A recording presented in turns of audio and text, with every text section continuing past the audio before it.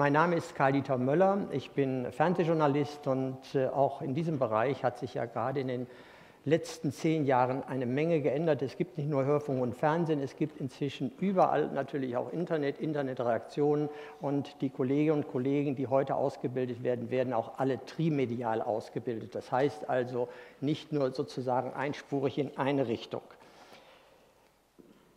Ich bin eigentlich nur dazu da, um vielleicht ganz kurz vorher ein paar Dinge zu sagen, die wir dann im Laufe des heutigen Tages äh, einfach so nehmen sollten, wie wir sie Ihnen anbieten. Es heißt ja 12. Verfassungsdialog. Und auf Dialog wird großen Wert gelegt. Sie sind natürlich mit einbezogen nach den jeweiligen äh, Vorträgen mitzudiskutieren und auch, nachdem wir hier auf dem Podium diskutiert haben, sich mit ihrer Meinung einzubringen, ob pro oder contra, das werden wir sehen. Was mich besonders freut, was ich erfahren habe, dass wir auch äh, bei diesem diesjährigen Symposium recht junge, ich muss immer aufpassen, dass ich nicht sage Zuschauer, nein, Zuhörer haben, das ist die 11. Klasse des Heisenberg-Gymnasiums in Karlsruhe. Und man muss sagen, wenn sich junge Leute am äh, Samstagvormittag oder am Samstag hierhin begeben, dann muss das Interesse wirklich groß sein. Und das finde ich ganz toll. Mal abgesehen davon, das ist aber jetzt nur eine Randnotiz, dass möglicherweise auch den Altersdurchschnitt hier immens senkt.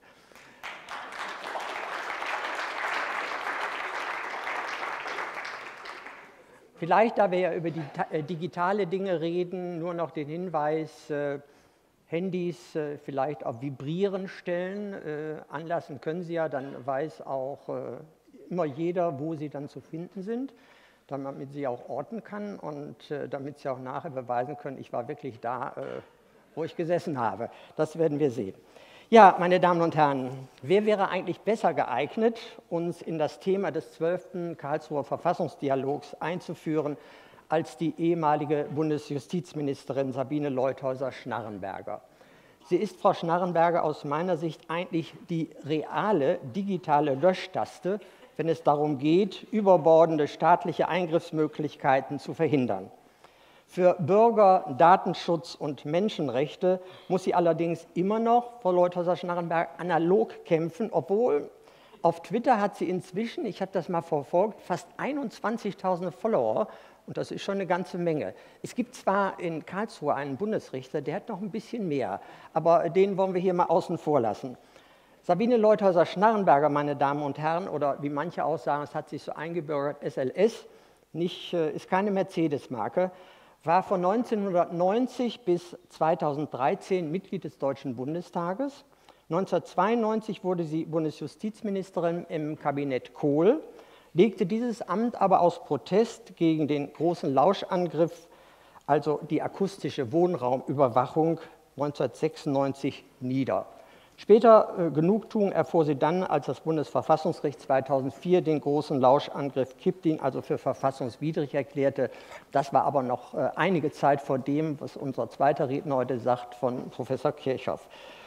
Ihr Rücktritt hat ihr, wenn ich das so im Nachhinein sehe, Frau Leuthäuser-Schnarrenberger, nicht geschadet, sondern im Gegenteil. Äh, es hat Ihnen wirklich genutzt weil zum ersten Mal jemand als Politiker oder Politikerin da aufrecht war und auch äh, für seine Meinung eingetreten ist. Sie waren übrigens, oder Frau Leuthäuser-Schnarrenberger war die erste Bundesjustizministerin, die nach einem Rücktritt wieder in das gleiche Amt gekommen ist.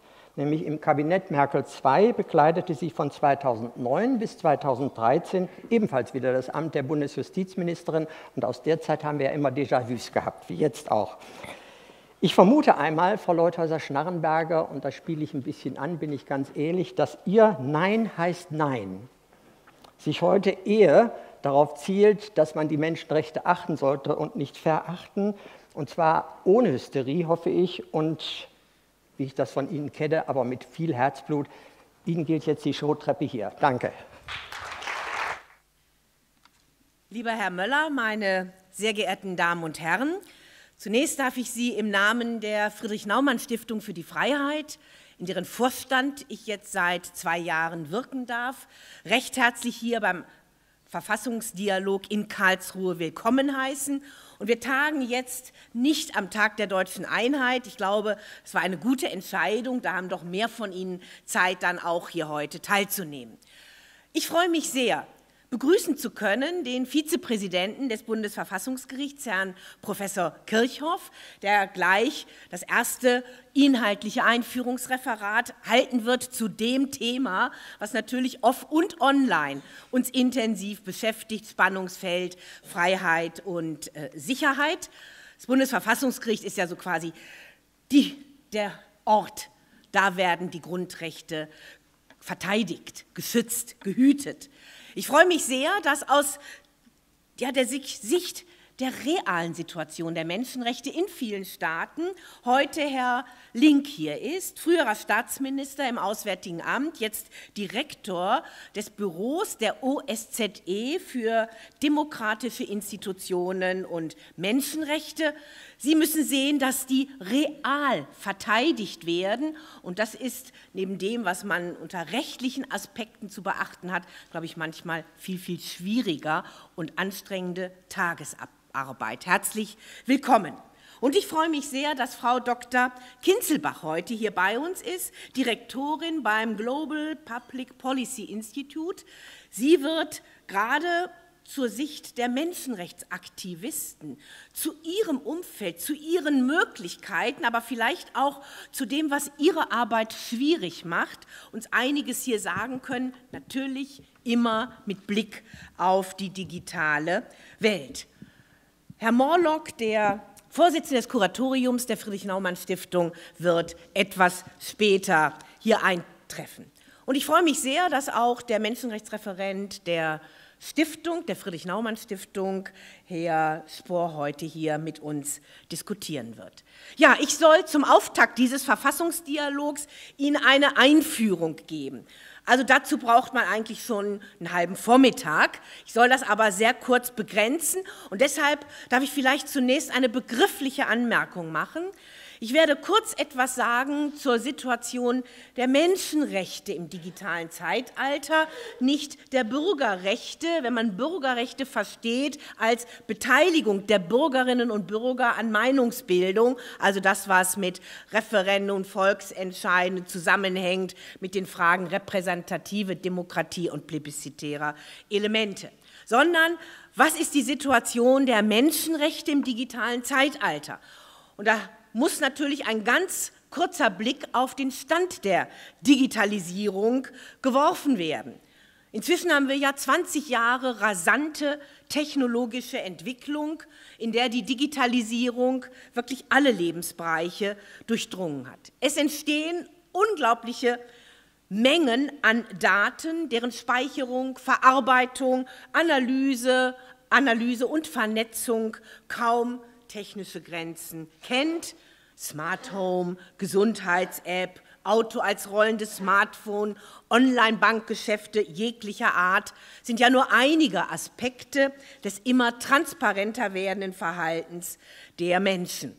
Mittels Algorithmen werden die erfassten Daten von global agierenden Konzernen für ihre Geschäftszwecke analysiert und vernetzt. Und das betrifft eben nicht nur technische Daten, losgelöst von einzelnen Personen. Da hätten wir jetzt mit dem Blick Privatsphäre, Persönlichkeitsrechtsschutz, Datenschutz nicht so die Probleme, sondern es betrifft natürlich zunehmend und überwiegend Daten, die Bezüge zu Personen haben, die sich aus ihrem Online- und Surfverhalten mit und ohne ihr Wissen ähm, gerieren lassen, die zu Profilen zusammengeführt werden, natürlich dann, um auch ganz gezielte Dienstleistungen, Werbeplätze anbieten zu können. Wie sagte Erik Schmidt, der jetzige äh, Vorstandsvorsitzende von Alphabet, da ist ja Google jetzt mit in diese Holding eingebracht worden, wir wissen, wo ihr seid, wer ihr seid, was ihr wollt. Und wir werden künftig euch auch sagen können,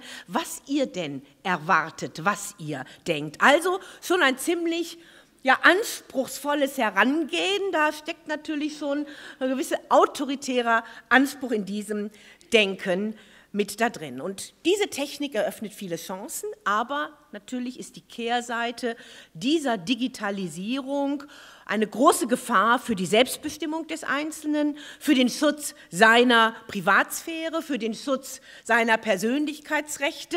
Und das alles ist ja immer auch Grundlage dann für die Äußerung von Meinungen teilzuhaben, auch an Diskursen.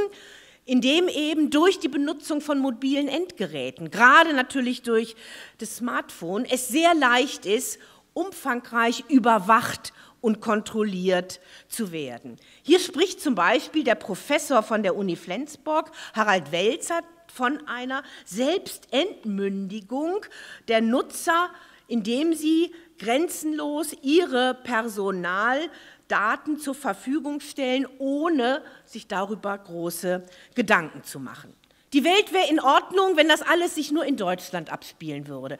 Da hat das Bundesverfassungsgericht jetzt vor mehr als 30 Jahren mit dem Volkszählungsurteil natürlich die Grundrechte mit äh, den Blick auf die informationelle Selbstbestimmung, die aus den bestehenden Grundrechten Artikel 1 und 2 entwickelt wurde, geschützt und das auch schon mit Blick auf die damals ja erst beginnende automatisierte Datenverarbeitung. Aber natürlich konnte damals nicht gesehen werden, welche Dimension diese Entwicklung mit Blick auch auf Durchdringung aller Lebensbereiche und Erfassung vieler Verhaltensweisen nehmen würde.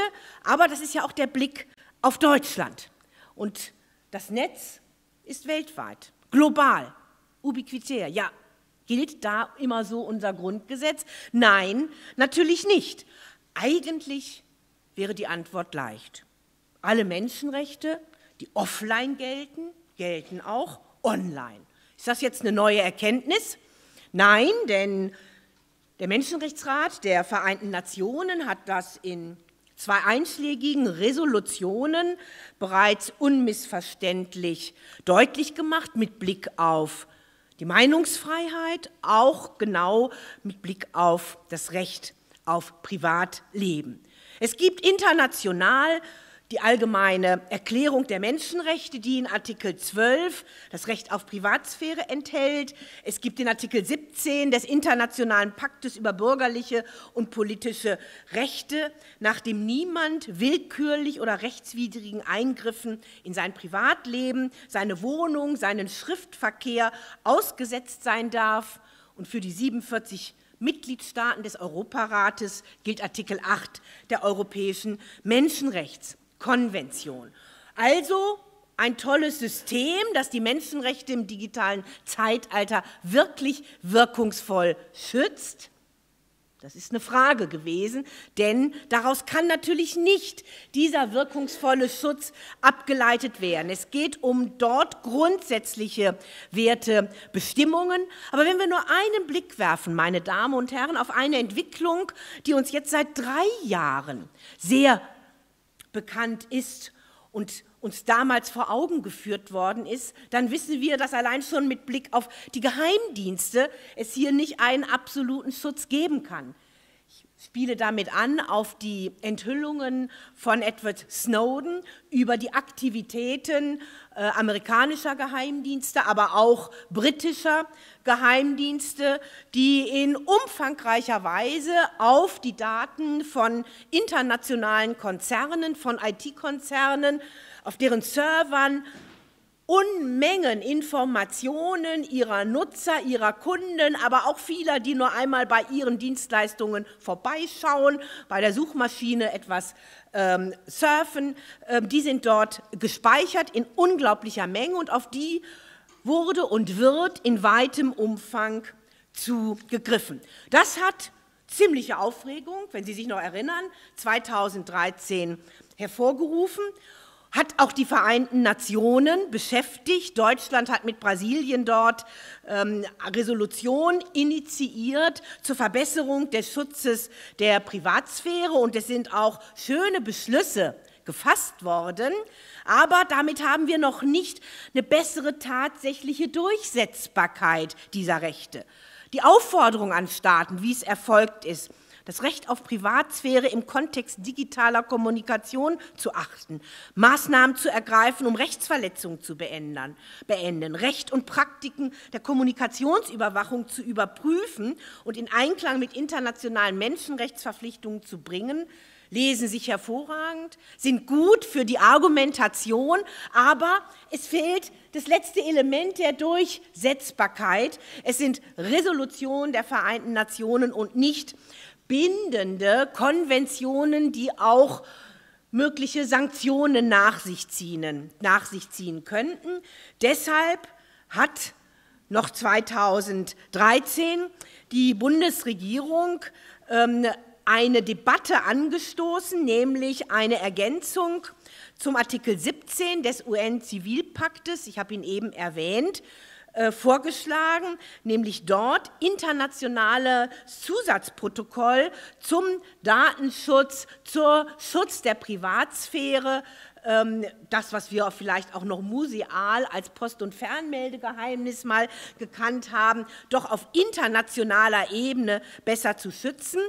Das sind immer lange Prozesse. Wenn man international eine Konvention, diese aus den 60er Jahren, ergänzen will und deshalb steckt das noch sehr in den Anfängen. Es hat aber immerhin Bewegung in die Debatte gebracht. Und wenn man sich mit einem internationalen Menschenrechtsschutz befasst, da muss man den langen Atem haben. Da war etwas effektiver, meine Damen und Herren, der Europäische Gerichtshof, der in seiner Entscheidung zu Safe Harbor, einem sicheren Hafen, auf die Klage von Max Schrems, einem österreichischen Jurastudenten damals, der wissen wollte, welche Daten Facebook denn über ihn gespeichert hat, hat Don dann, das war kein ganz einfacher Weg zum Europäischen Gerichtshof zu kommen, entschieden, dass jedenfalls die damalige Praxis zu sagen, wenn sich Unternehmen in eine Liste eintragen und erklären, wir achten schon so allgemeine Datenschutzstandards, dass das nicht ausreicht angesichts der Enthüllungen von Snowden, dass massenhaft auf die Daten von Unternehmen, von Privatpersonen, gerade natürlich auch von nicht-amerikanischen Staatsangehörigen zugegriffen wird und haben darin die Verletzung der Europäischen Grundrechtecharta mit Blick auf Privatsphäre, mit Blick auf Datenschutz, Artikel 7 und Artikel 8 festgestellt. Und das hat dann auch Aktivitäten ausgelöst nach dem Motto, jetzt brauchen wir aber mal ein funktionierendes Abkommen, damit zwar ein Datentransfer möglich ist, aber unter Achtung dieser wichtigen Grundrechte, dieser Menschenrechte. Es ist ein EU-US Privacy Shield ähm, äh, Abkommen, nicht im Sinne eines völkerrechtlichen Vertrages, ähm, dann vereinbart worden durch Briefwechsel. Ich will da auf Einzelheiten nicht eingehen, aber Kernpunkt ist, dass sich da äh, die Geheimdienste in den Vereinigten Staaten im Brief verpflichten, nicht mehr so böse zu sein wie in der Vergangenheit mit diesem unbegrenzten Zugriff auf die Daten. Ob das wirklich so wirkungsvoll mit Blick auf diesen Bereich der Menschenrechte ist, ich glaube, darüber kann man mit Fug und Recht debattieren und streiten. Deshalb das ruft danach, dass wir verbindliche Standards brauchen mit Blick auf Schutz der Menschenrechte im digitalen Zeitalter. Und für einen Bereich, nämlich für jetzt schon den von mir erwähnten Datenschutz, das informationale Selbstbestimmungsrecht der Nutzer, hat das die Europäische Union mit neun europäischen Standards gemacht, die 2018 in Kraft treten und die gerade auch einen Adressaten haben, nämlich Adressaten international agierende Konzerne. Denn es ist natürlich schwierig, mit nationalem Recht zu versuchen, Facebook, Amazon, auch Samsung, auch andere, es gibt nicht nur amerikanische, aber die sind natürlich im Moment besonders präsent und auch auf dem Markt, ja im untechnischen Sinne gesprochen, marktbeherrschend, diese Unternehmen auch an Standards zu binden, die nicht nur dem Recht entsprechen in dem Land, in dem sie ihren Hauptsitz, also zum Beispiel die Vereinigten Staaten von Amerika haben, sondern wenn sie in der Europäischen Union mit 500 Millionen Bürgerinnen und Bürgern agieren, Dienstleistungen anbieten, Daten auch von den Bürgern verarbeiten, um eben ihre Geschäftsmodelle weiterzuentwickeln. Das ist nicht so ganz einfach, um es einmal vorsichtig auszudrücken. Und deshalb ist mit diesen neuen Standards und der Verortung eines Prinzips, das letztendlich schon auch vom Europäischen Gerichtshof mitentwickelt wurde, finde ich auf alle Fälle ganz gut gelungen, nämlich einem Prinzip, das sagt, wenn, ich sage es ganz einfach, wenn diese internationalen Konzerne eben diese Daten von Bürgerinnen und Bürgern, die in der Europäischen Union leben, verarbeiten, in Form von Dienstleistungen auf diesem Markt anbieten, dann gilt ein Marktortprinzip, also dann gilt das Recht des Marktes, auf dem sie diese Dienstleistungen letztendlich an die Kunden, an die Nutzer bringen. Und damit gilt dann eben über dem Bereich der Europäischen Union hinaus für diesen für diese Verbreitungswege gilt dann das, was dort an europäischen Datenschutzstandards verortet ist. Das ist ein Fortschritt. Ob das alles richtig auch greifen wird in der Anwendung, mit dem Grundsatz der Einwilligung des Einzelnen, der für uns ja etwas schwierig ist, angesichts dieser technologischen Entwicklung, sich vorzustellen, wie geht das? Wie kann man das auch durch technische, verbindliche Vorgaben verbessern, dass dieses Recht besser ausgeübt wird? Das alles versucht diese neue europäische Datenschutzgrundverordnung, so heißt das, ungetüm. Und ich denke, es ist gut, es hat lang gedauert, dass man diesen Schritt gegangen ist, also hier auch einen Gestaltungsrahmen verbunden mit Sanktionen bei Verletzung zu schaffen. Also wir brauchen ein Zusammenspiel von nationalem, europäischem und internationalem Recht, denn wir haben eben faktische Schwierigkeiten eines Mehrebenensystems und da kommen wir allein mit Antworten auf nationaler Ebene letztendlich nicht ans Ziel. Also, meine Damen und Herren, für den Bereich große Herausforderungen für die Freiheit des Einzelnen. Aber es sollte nun nicht nur der Blick geworfen werden darauf, dass es unglaublich viele Risiken gibt. Natürlich mit Blick auf Menschenrechte ist das absolut richtig. Natürlich gibt es auch Chance, Chancen für die Einzelnen. Noch nie konnte so schnell weltweit miteinander kommuniziert werden. Informationen gesammelt werden, teilgehabt werden. Aber auch, dass ich mich nicht mehr verlaufen muss, wenn ich gewisse Angebote nutze, dass ich weiß, wie mein gesundheitlicher Zustand ist, wenn ich auch bestimmte Angebote nutze, ist für viele auch eine Bereicherung, ein Vorteil.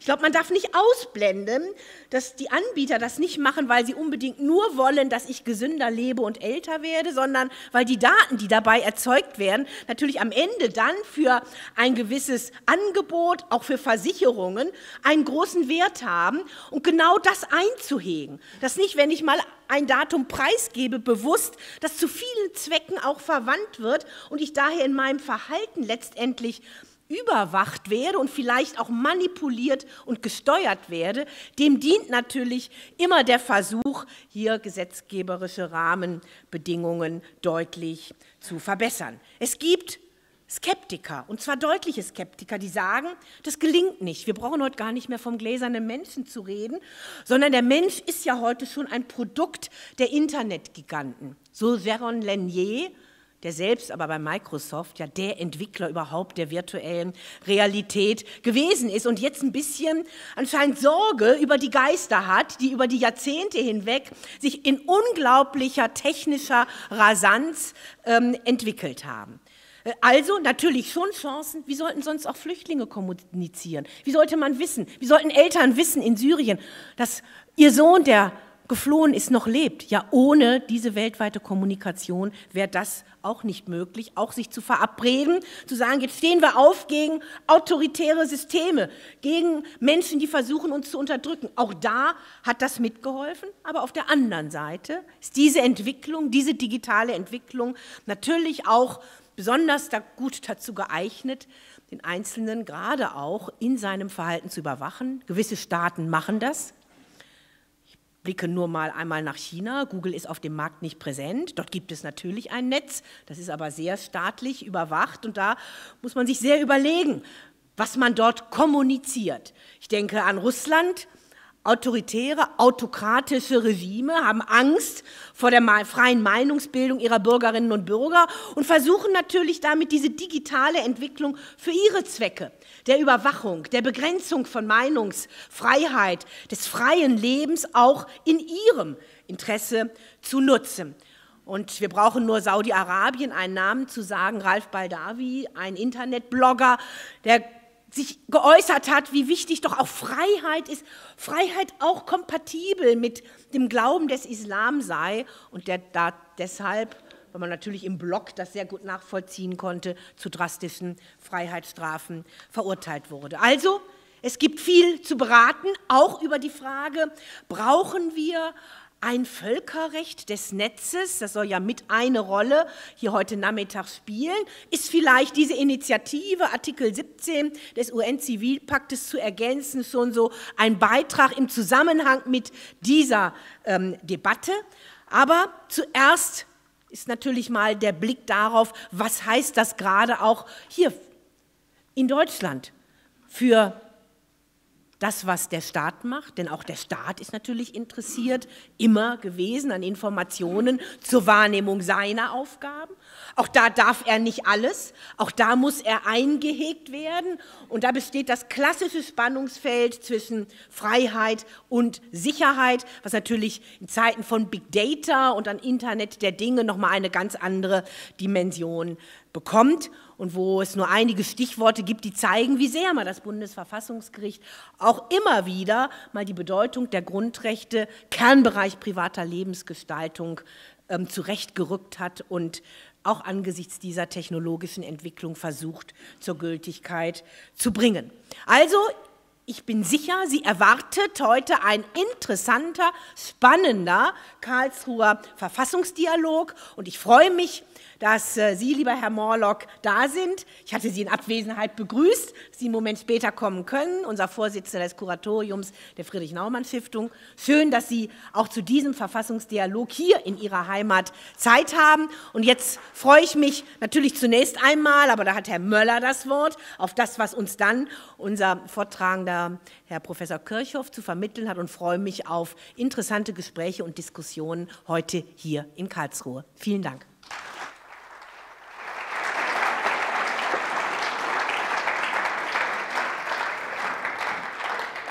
Ja, herzlichen Dank, Frau Leuthäuser-Schlarrenberger. Meine Damen und Herren, ich habe Ihnen nicht zu viel versprochen. Selbst bei dieser Materie Digitalisierung kann man das mit Herzblut vortragen und mit viel Werf. Äh, ich habe das ja schon angedeutet. Und in der Tat ist es natürlich so, Sie haben es kurz angesprochen, wir User, die wir privat reingehen, äh, machen da vieles, worüber wir gar nicht nachdenken. Wie schnell ist das Häkchen gesetzt mit einem Klick?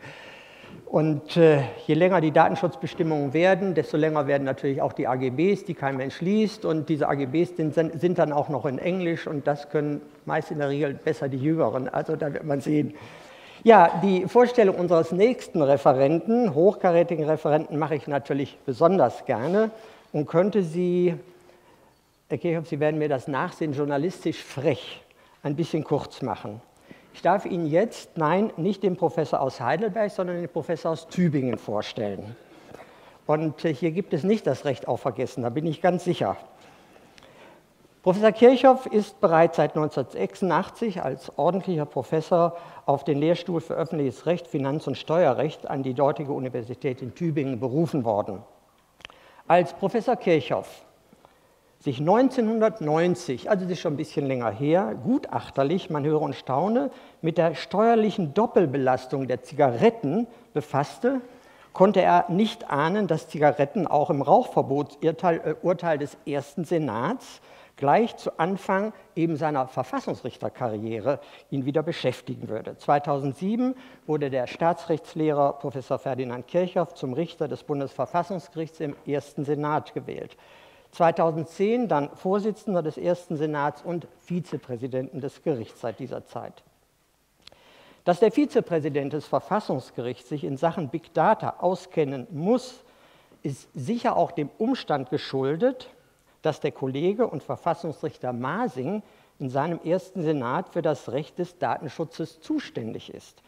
Und äh, da muss jeder, jedes Senatsmitglied äh, wenn denn der Kaffee gereicht wird, nicht nur im Kaffeesatz rühren, sondern muss auch Ahnung haben, wenn er ihn trinkt. Und das werden wir gleich sehen. Äh, ich bin sicher, dass im Falle des Vortrags von Herrn Professor Kirchhoff der Kaffee ganz schwach sein wird. Das ist jetzt nicht politisch gemeint, sondern von der Schwere des Vortrags. Herr Professor Kirchhoff.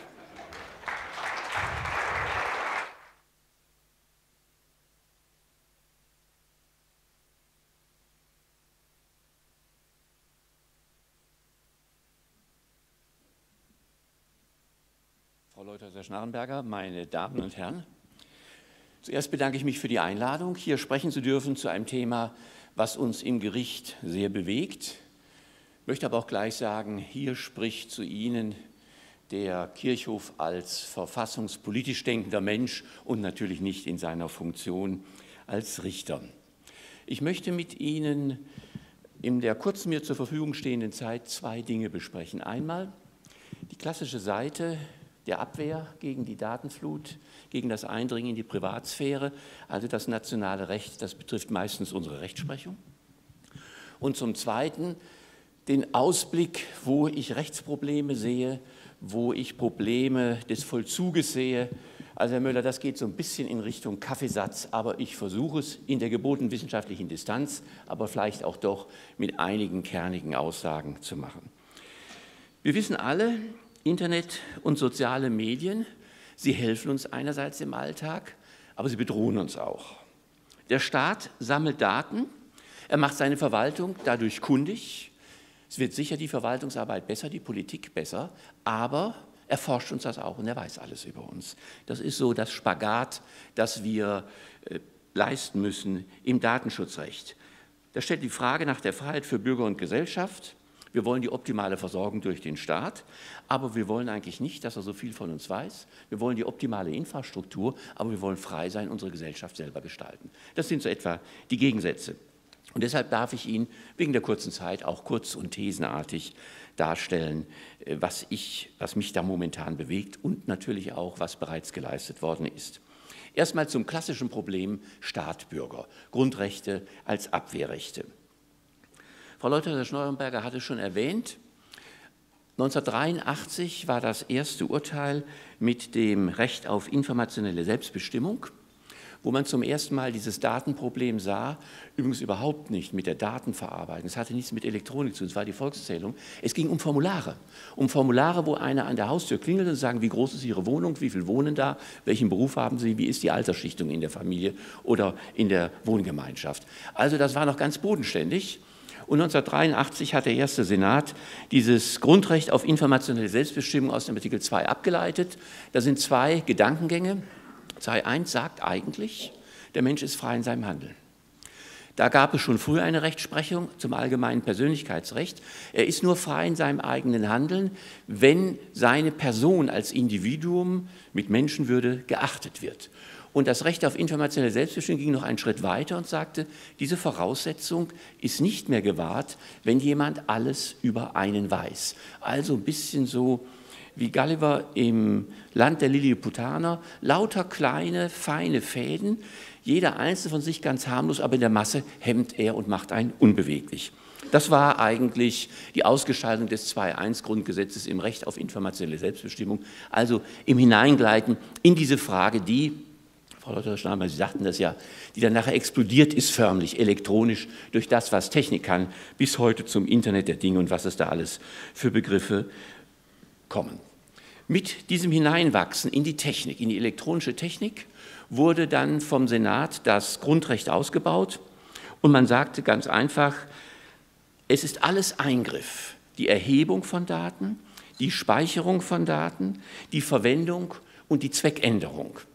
Das bedarf alles einer Rechtfertigung vor dem Grundrecht, vielleicht die zur Löschung führt oder zur Sperrung. Hier sind wir noch in den gewohnten Bahnen des Verfassungsrechts. Das klassische Abwehrrecht wir haben entdeckt, dass hier ein Eingriff liegt, auch wenn im Computer etwas geschieht, nicht nur die reine Erhebung der Daten. Und dann kommt das ganze Prüfprogramm, was ein Verfassungsgericht hat, was die Verfassung aufstellt, nämlich die Rechtfertigungsfrage. Ich brauche einen sachlichen Grund, der Staat muss sich legitimieren, warum er das macht und so weiter. Sie kennen das alle.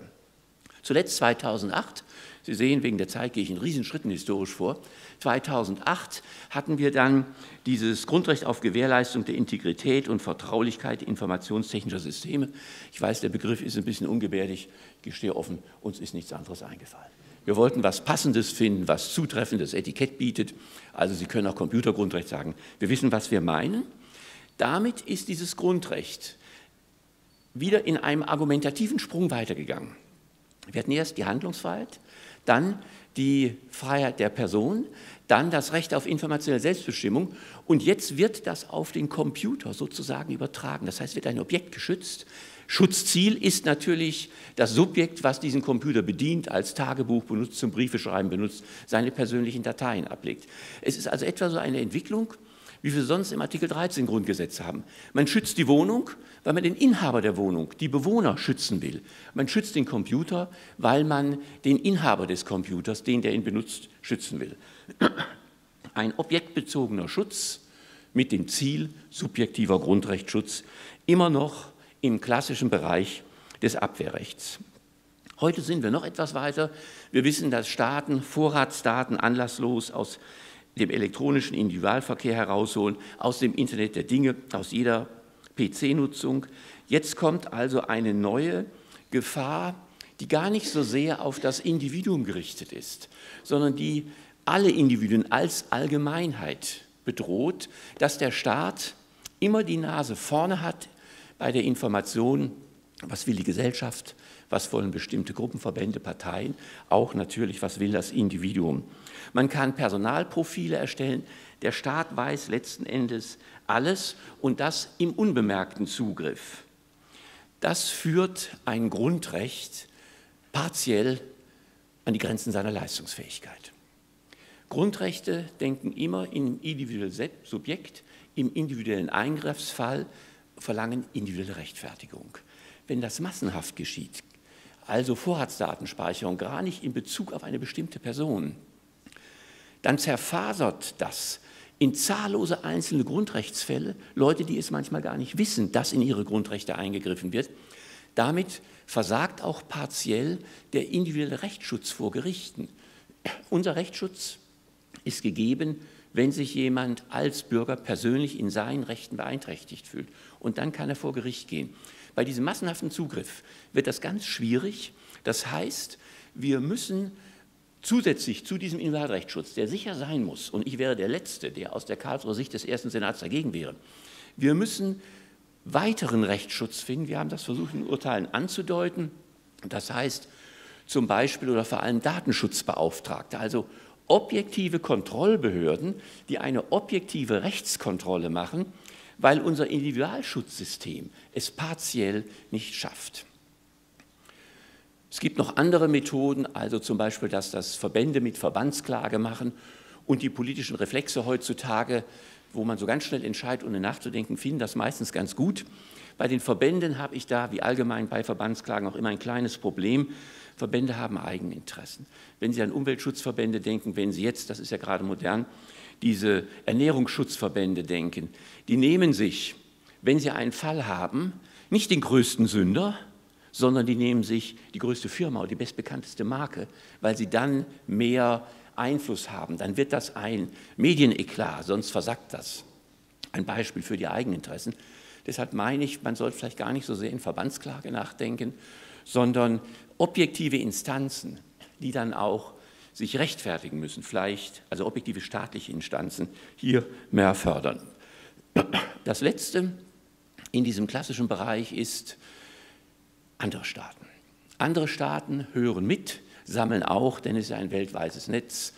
Sie sagten ja bereits NSA und was da in der amerikanischen Botschaft neben dem Brandenburger Tor passiert. Wir wissen es nicht genau, aber wenn man da die Dächer und die Kuppeln sieht, dann kommt man auf ganz komische Gedanken, was da so alles möglich wäre und ja wohl auch gekommen ist. Hier versagen unsere Grundrechte natürlich völlig. Grundrechte, die deutschen Grundrechte des Grundgesetzes schützen vor der deutschen Staatsgewalt. Nicht vor fremden Staatsgewalten, nicht vor anderen, nur vor der deutschen Staatsgewalt. Hier wird man sich vielleicht auch noch etwas anderes ausdenken müssen. Es könnte sein, wieder im Verlassen des Individualgrundrechtsschutzes, dass aus den Grundrechten Schutzpflichten einhergehen, dass der deutsche Staat verpflichtet ist, aus grundrechtlicher Schutzpflicht für seine Bürger bei diesen Dingen einzuschreiten oder sie zumindest zu kanalisieren. Nochmal, das ist keine Rechtsprechung. Das ist nur eine Überlegung, die sich natürlich aufdrängt. Denn die Grundrechte wollen die Freiheit für die Person, auch die Freiheit vor elektronischer Aussperrung. Das ist sozusagen ein objektives Ziel. Wenn die Wirklichkeit auswandert, in diesem Beispiel, dass fremde Staaten diese Freiheit kaputt machen, dann ist die Frage, ob die Grundrechte dogmatisch nachwandern müssen und hier auch etwas sehen. Das wäre also so, und ich meine, das ist nicht im Kaffeesatz gelesen, sondern das ist vielleicht schon eine sehr konkrete Überlegung zu der Entwicklung unserer Grundrechte, wie sie sein könnte. Nochmal, das ist nicht Rechtsprechung, das ist auch nicht irgendwie angedeutet, ich will ja keine Rechtsprechung mit andeuten, aber es ist eine Frage, die sich objektiv stellt. Damit komme ich zum zweiten Teil, denn ich will ja nicht zu lange reden, zu den neuen Problemen. Abgesehen vom einzelnen ärgerlichen Fall, dass jemand meine Daten nimmt und mich beeinträchtigt, weil er alles über mich weiß, haben wir jetzt das Problem, dass wir Internet, soziale Dienste, äh, Wikipedia, Amazon, was es da so alles gibt, aus unserem Leben nicht mehr wegdenken können. Und zwar nicht nur als Privatpersonen, sondern auch beruflich.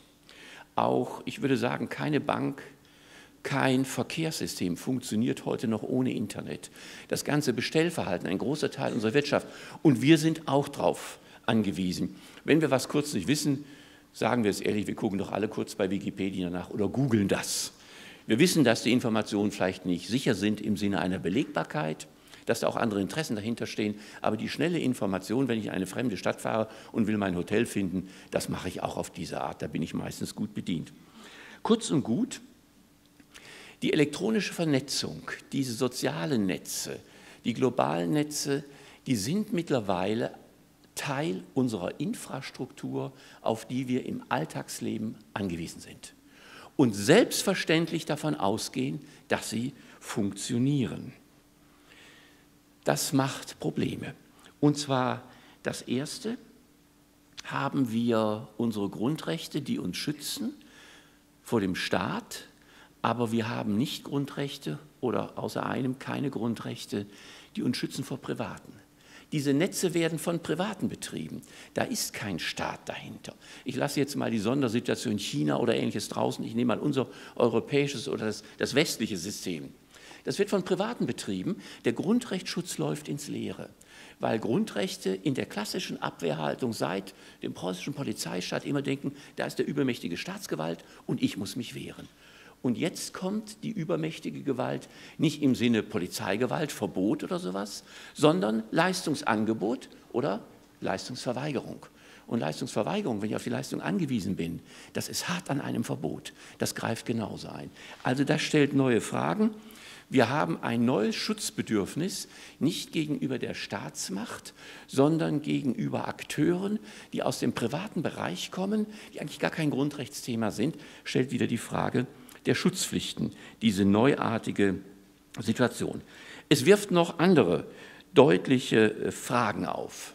Zum Beispiel, wenn diese Infrastruktur, die wir brauchen, notwendig im Alltagsleben, wenn die von Privaten betrieben wird, was machen wir, wenn sie irgendwo defizitär ist? Das haben wir in Baden-Württemberg in den ländlichen Gebieten zum Beispiel. Die Wirtschaftsunternehmen, der Mittelstand leidet dort, die sind nicht richtig angeschlossen.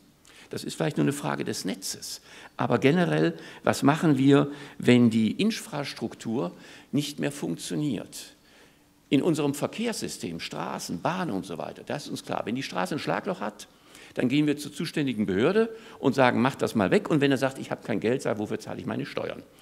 Etwas holzschnittartig kurz gesagt. Wir wissen, der Staat hat Geld, der Staat hat Geld zu haben, der macht das. Wenn wir zu einem Privaten gehen, der kann Ihnen ins Gesicht sagen, das Geschäftsfeld, was Sie gerne wollen, betreibe ich nicht, das bringt mir keinen Gewinn, da ziehe ich mich zurück, ich bin als Privater auf Gewinn ausgewiesen und Sie können nichts machen. Das heißt, die Gewährleistung, dass diese Infrastruktur, die wir brauchen, immer da ist, die haben wir bei einem Privaten nicht so wie beim Staat. Das ist eine Gefährdung.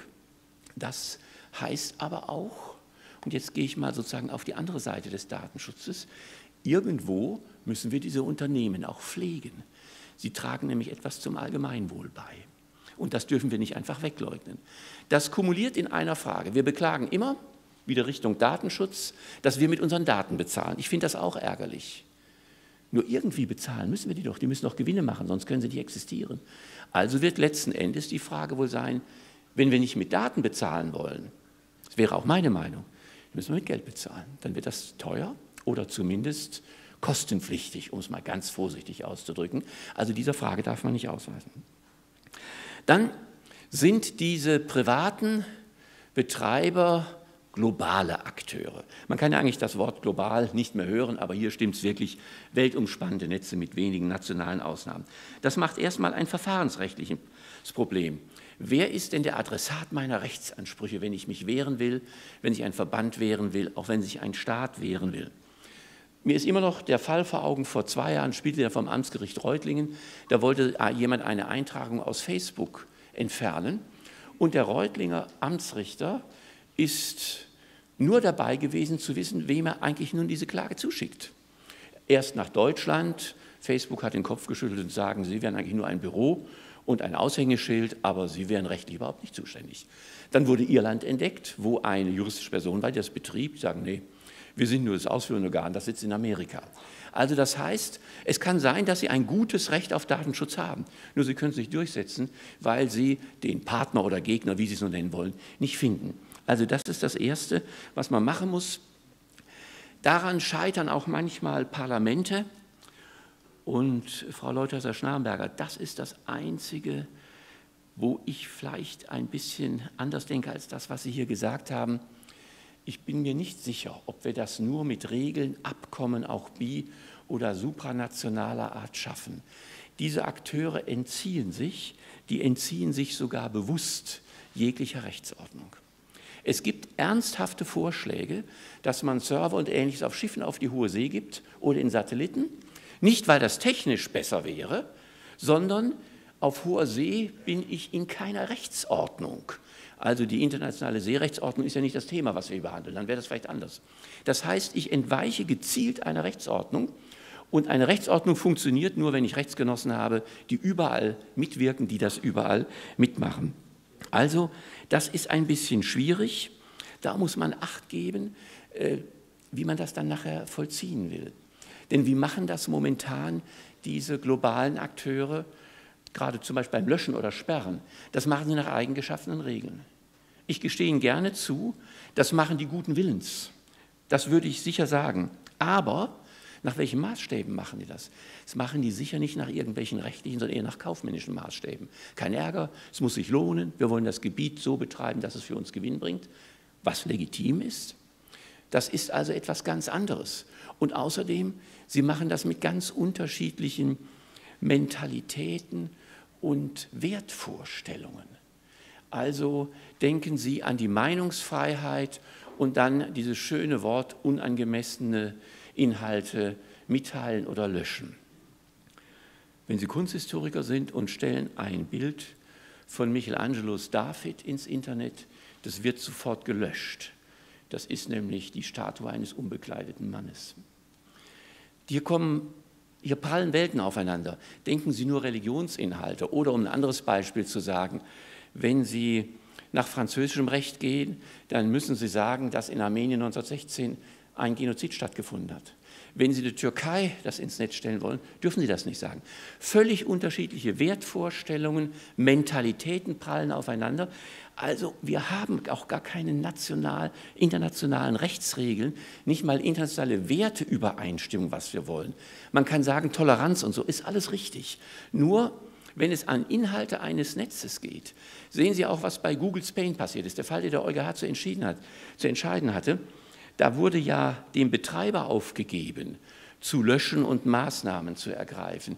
Das heißt, wenn man es etwas plakativ sagt, der Sünder soll nicht nur bereuen, sondern soll sich künftig richtig verhalten. Ich gestehe auch dazu, das haben die sicher subjektiv ehrlich gemacht. Nur plötzlich wird Google sogar die Instanz, die sagt, was wir ins Netz stellen dürfen und nicht. Wenn das passiert, habe ich ein bisschen Probleme mit meinem Grundrechts- und Freiheitsverständnis. Und wenn wir da internationale Abkommen oder Ähnliches haben, dann ist die Frage, was äh, wie können wir das eigentlich erreichen? Und damit bin ich auch bei der Kontrolle und bei der Durchsetzung. Ein schönes Abkommen, ja gut, aber was machen wir mit dem Server von Google, der dann auf hoher See ist? Da prallen alle Abkommen ab. Es geht immer nur, wenn es in die nationale Rechtsordnung geht. Da gibt es natürlich Möglichkeiten. Wenn wir ein nationales Netz verwenden, also ein erdgebundenes Netz, territoriale Souveränität, wenn äh, da konkrete Geschäftsbeziehungen angebahnt werden, die nachher finanziell abgewickelt werden müssen. Kauf im Internet und so. Da muss ich immer die nationale Rechtsordnung, kann ich sagen, wenn da so oder so angebahnt worden ist, dann wird das in der nationalen Rechtsordnung nicht akzeptiert. Aber so dieser allgemeine generelle Informationsfluss, der funktioniert dann nicht, den kriegen wir nicht in eine nationale Rechtsordnung, Es wäre schön, wenn wir in eine internationale Rechtsordnung bekämen, aber die muss dann auch verbindlich sein und vor allen Dingen muss auch durchgesetzt werden. Und wer macht das? Machen die das die Staaten im Konzert? Dann bleibt der rechtsfreie Raum zum Beispiel auf der Hohen See und in der Luft draußen. Wenn es nationale Staaten machen, wird es da deutliche Unterschiede geben. Wir sehen das ja sogar schon beim Vollzug von IG-Verordnungen durch die 28 Mitgliedstaaten, welche unterschiedliche Vorstellungen da herrschen, obwohl man doch aus einem gemeinsamen Kulturkreis kommt. Das ist also alles nicht so einfach. Ich habe in dieser Woche eine Meldung gelesen, dass das US-amerikanische Handelsministerium die Kontrolle über die Verwaltung der Domains aufgibt. Die Agentur sitzt in Los Angeles und da war bisher eine Rechtsaufsicht. Und ich muss auch sagen, mein politischer Reflex sagt im ersten Moment, gut, endlich wird das nicht nur durch eine einzige nationale Einheit gesteuert. Jetzt soll das gesteuert werden durch ein Gremium aus Nutzerverbänden, aus Betreibern und auch aus staatlichen Interessenten, wenn ich recht informiert bin. Wie ich das gelesen habe, wurde ich etwas unsicher. Ist das wirklich ein Fortschritt von einer strengen Rechtsaufsicht? Zwar nur durch einen Staat, das war das Ärgernis. Von einer strengen Aufsicht durch einen Staat kommen wir jetzt sozusagen in eine Selbstverwaltung, in eine Selbstorganisation, wo die Betreiber die Netzmacht und wahrscheinlich auch die finanzielle Macht in der Hand haben. Die verwalten sich selbst, machen die wirklich Regeln zum Schutze des Bürgers, der Gesellschaft und ähnliches. Auch hier subjektiv sicher guten Willens, aber dieses System wird objektiv in eine andere Rechtsregelung hineingehen. Ganz abgesehen davon, dass ich dann nicht wüsste, welches Gericht das überprüfen sollte. Das ist wieder die Frage, wie ich äh, auf international, global agierende äh, Unternehmen zugreife. Also, ich will hier nicht Cassandra rufen, aber ich möchte nur sagen, es ist in der Zukunft noch etliches zu tun. Wir haben etliche Probleme offen, die man auch nicht national allein erledigen kann, wo man aber zumindest zu Konsens kommen muss, was wir wollen, was wir nicht wollen, wo man den Bürgerschutz in den internationalen Bereich reinbringen muss, außerhalb der Klagemöglichkeit durch nationale äh, Gerichte. Letzten Endes meine ich, und damit möchte ich auch schließen, wir müssen wahrscheinlich hochhalten, das wäre so meine Zielprojektion, grundsätzlich ein subjektives Recht des Nutzers an seinen Daten. Das heißt, wer eingreifen muss, der, wer eingreifen will, der muss eine Rechtfertigung vorweisen, eine Finanzierung für die privaten Betreiber dieses Netzes, das wir notwendig brauchen, durch Daten oder durch Geld. Und letzten Endes auch eine wirksame Gerichtskontrolle. Aber bis man dahin kommt, muss man erst noch viel Gedankenarbeit leisten und dann viel politische Überzeugungsarbeit. Dankeschön.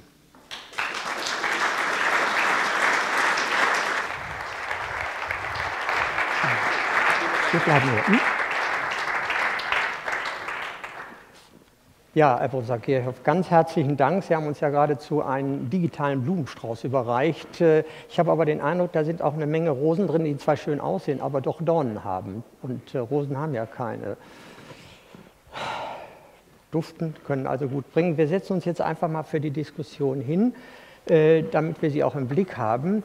Ähm, ich frage gleich mal ins Publikum. Erste Frage, sonst mache ich oder spiele ich wieder den Eisbrecher. Ja.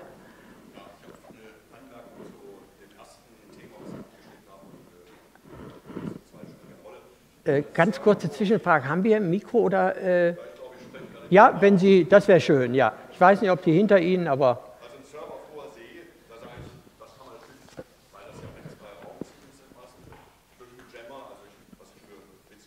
Also das, war jetzt der Rundumschlag zum Schluss. Nein, danke schön. Äh, eine Menge Fragen. Ja, Herr ich, ich möchte es gerne. Ich möchte es ganz kurz machen. Einmal mit dem Jammen. Sie können euch gleich den elektronischen Krieg ausrufen. Ich bin mehr für die Regelung durch Recht und friedlich. Außerdem, wenn Sie jammen, wir brauchen das Netz. Wenn das nur so angeboten wird, dann schießen Sie sich selber aus der Leistung raus, die Sie brauchen, im wahrsten Sinn des Wortes. Also äh, ich glaube, das ist nicht die Lösung. Das müssen wir wohl anders machen. Zumal, wie gesagt, mein Verständnis, wie wir die Gesellschaft ordnen, das ist nicht mit der Knarre in der Hand und dann wird gleich durchgeladen. Das wäre das eine. Zweitens, ähm, äh, diese Domänenverwaltungsagentur, das war nur ein Beispiel von mir, ob das richtig ist. Aber auf der anderen Seite muss ich Ihnen auch sagen, mit dem Namen können Sie viel machen. Nicht? Also äh, wenn es eine Domain Coca-Cola gibt und die wird Ihnen genommen und die dürfen jetzt nur braune Brause draufschreiben, dann werden die sicher einen ordentlichen geschäftlichen Verlust haben. Also man kann mit Benennungen oder mit Ausgrenzung von Benennungen auch Themen belegen. Wie wir das auch in der Politik so schön machen, wer den richtigen Begriff erfindet, hat plötzlich die Thematik in der Hand und leitet die Diskussion. Also das ist ein bisschen schlimm. Das andere mit Geld oder Daten, das ist richtig. Der Benutzer geht meistens den bequemsten Weg, aber da wäre vielleicht so ein bisschen ein legislatives Nudging angesagt. Also da gibt es ja auch Zwischenbereiche, wie man das machen könnte. Auf diese Weise würde ich das sagen. Und ob der Schulunterricht in EDV gut ist, das entzieht sich meiner Kenntnis. Ich möchte nur über was aussagen, wovon ich was verstehe. Bitte.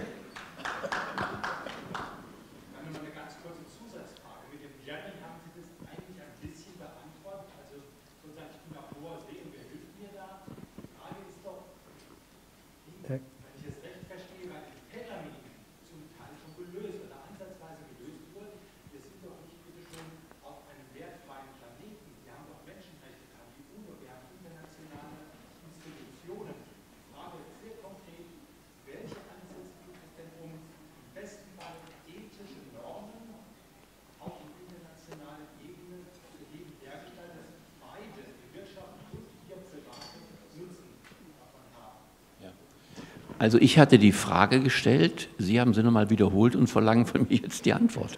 Das ist mein Problem.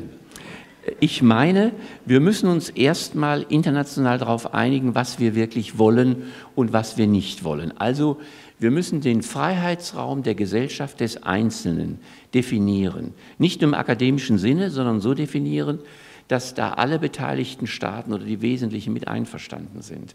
Das wollte ich auch sagen mit meinem Beispiel, wenn man in Religion geht, mit dem äh, David von Michelangelo, dass, äh, dass hier deutlich unterschiedliche Vorstellungen bestehen. Das muss man erst mal klären, das wäre das Erste. Und das Zweite, wenn man das dann rechtlich verbindlich irgendwie regelt, muss man sehen, wer das exekutiert, auch in dem Bereich, der momentan bei uns noch ein rechtsfreier Raum ist, also die hohe See und der Luftraum, das sind die schönsten Beispiele. Nicht? Man muss das nicht auch sehen, wie man das gegenüber anderen Staaten dann exekutiert, wenn die andere Vorstellungen haben, da ausbrechen und so weiter. Aber ich habe nicht das Wunderrezept. Bitte. Aber bitte kurz.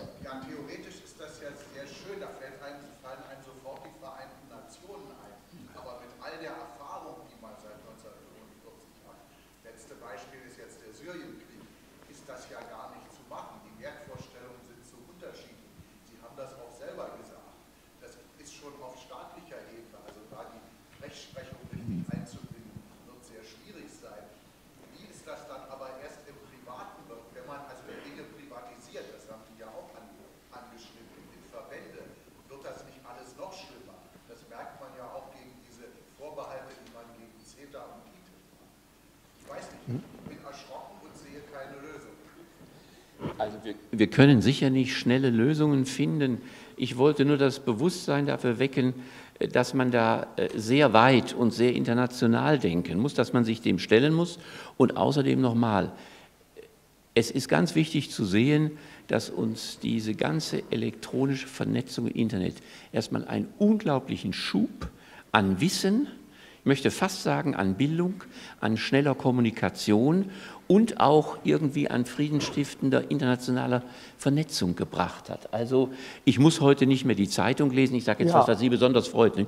Ich muss jetzt nicht die Zeitung lesen, sondern ich gehe ins Internet und dann äh, rufe ich äh, das äh, Weiße Haus auf und dann kriege ich die Pressemitteilung Direttissima. Ja. Das ist ein Gewinn. Und der Gewinn ist auch, vielleicht der eine oder andere hier, der äh, Enkelkinder hat, die in Amerika sind, äh, über FaceTime und Internetverbindungen kostenlos telefonieren. Also da ist schon ein großer Fortschritt. Herr Professor Kirchhoff, bevor ich dann noch mal ins Podium gehe, äh, Sie haben ja einen Stein ins Wasser geworfen, von dem ich sage, es ist immer interessant, Verfassungsrechtler und Verfassungsrichter beim Denken zuzusehen oder mal gucken, was dabei rauskommt. Sie haben gesagt, äh, das Grundgesetz schützt ja nur äh, vor deutscher Staatsgewalt. So, wenn jetzt das Grundgesetz von außen angegriffen wird, dann hätte der Staat, wenn ich Sie da richtig verstanden habe, oder darüber müsste man darüber nachdenken, ob der Staat dann nicht sozusagen für einen auftreten muss, um einen verteidigen zu können. Können Sie das nochmal ausführen, in welchen Gedankengängen Sie das äh, sozusagen weitersehen? Nochmal mit der Betonung, dass das meine privaten Gedankengänge ja. sind. Wir haben ja entwickelt die Schutzpflicht aus den Grundrechten. Das heißt, nicht der klassische Abwehrstatus, sondern dass der Staat sich schützend vor bestimmte Freiheitsbereiche stellen muss. Das ist eine objektive Verpflichtung, die erreicht nicht die Intensität der Grundrechte.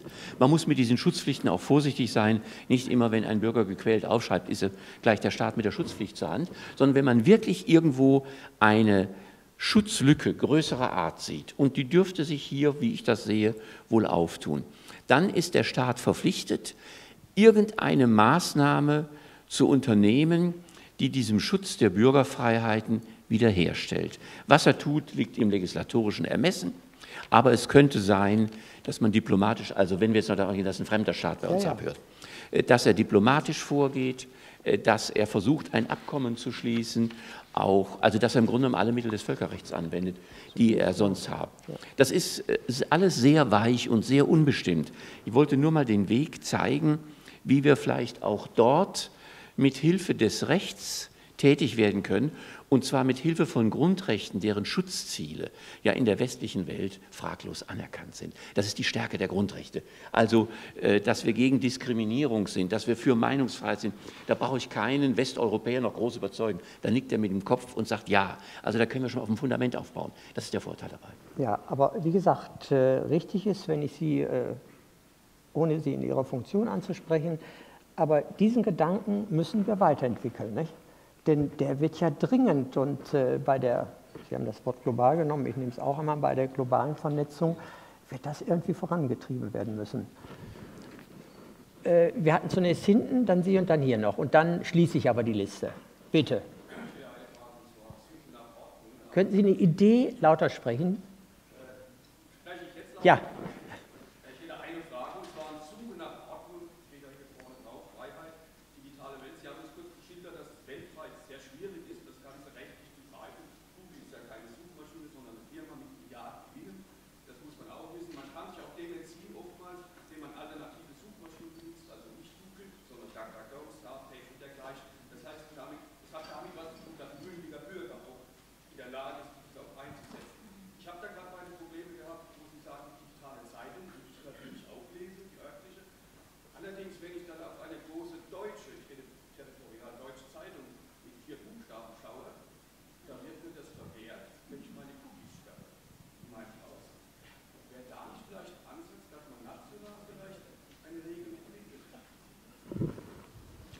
Aber das wäre jetzt der Ruf nach kostenfreier Nutzung. Äh, da habe ich so meine Bedenken. Also es gibt kein Grundrecht auf kostenlose Benutzung des Internets. Ich will jetzt nicht äh, die Frage der so wenigen sozial Schwachen ansprechen, die das vielleicht brauchen. Aber sonst, wenn wir eine Leistung nehmen, die ein Fremder bietet, in unserer leider sehr kommerzialisierten Welt müssen wir dafür bezahlen. Äh, da in dem Bereich sehe ich also nicht das Problem. Ich sehe mehr das Problem, wenn ich nur auf eine Zeitung zugreifen kann in anderen Ländern, wenn ich nur auf einen Meinungsgeber zugehen kann oder äh, wenn äh, Nachrichten nicht offengelegt werden, woher sie kommen, wenn Nachrichten kommerziell bestimmt werden. Da ist das Problem. Ja, bitte. Können Sie aufstehen? Vielleicht hört man das dann besser.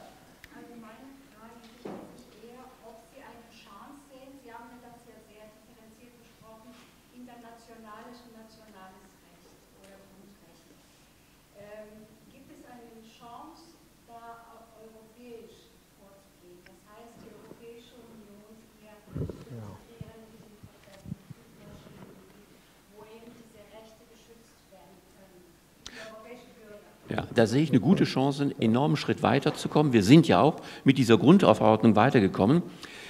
Diese privaten Unternehmen müssen verdienen, müssen Gewinn machen. Und diesen Gewinn ziehen sie meistens aus irgendwelchen vertraglichen Bindungen, entweder dass ihnen etwas verkauft wird oder dass ein anderer da Werbung platzieren kann Und das geht immer in die nationale Rechtsordnung und das geht auch in die europäische Rechtsordnung. Und die europäische, der Binnenmarkt ist halt eine große Marktmacht. Die werden ganz anders gehört. Wenn Liechtenstein etwas entwirft, da wird kaum einer drauf hören. Aber wenn die ganze EU eine Grundverordnung hat, mit allen ihren Problemen, darüber will ich jetzt nicht reden, dann ist das, glaube ich, ein deutlicher Schritt. Auch, ich glaube auch, diese Grundverordnung ist das erste Instrument, das EU in diesem Bereich mal die Muskel spielen lässt. Ich meine, man hat immerhin vier Jahre gebraucht. In vier Jahren verändert sich die Technik im Internet also von 2.0 auf 4.0. Das heißt, man kann auch im Prinzip immer nur hinterherlaufen, aber in der Tat ist es äh, ein guter Ansatzpunkt. Äh, es tut mir leid, wir haben hier noch eine Frage und dann würde ich gerne auch mit dem Blick auf die Uhr abschließen. Wir haben aber nachher noch Diskussionen, da können Sie diese Fragen, wenn Sie sie notieren, auch einbringen.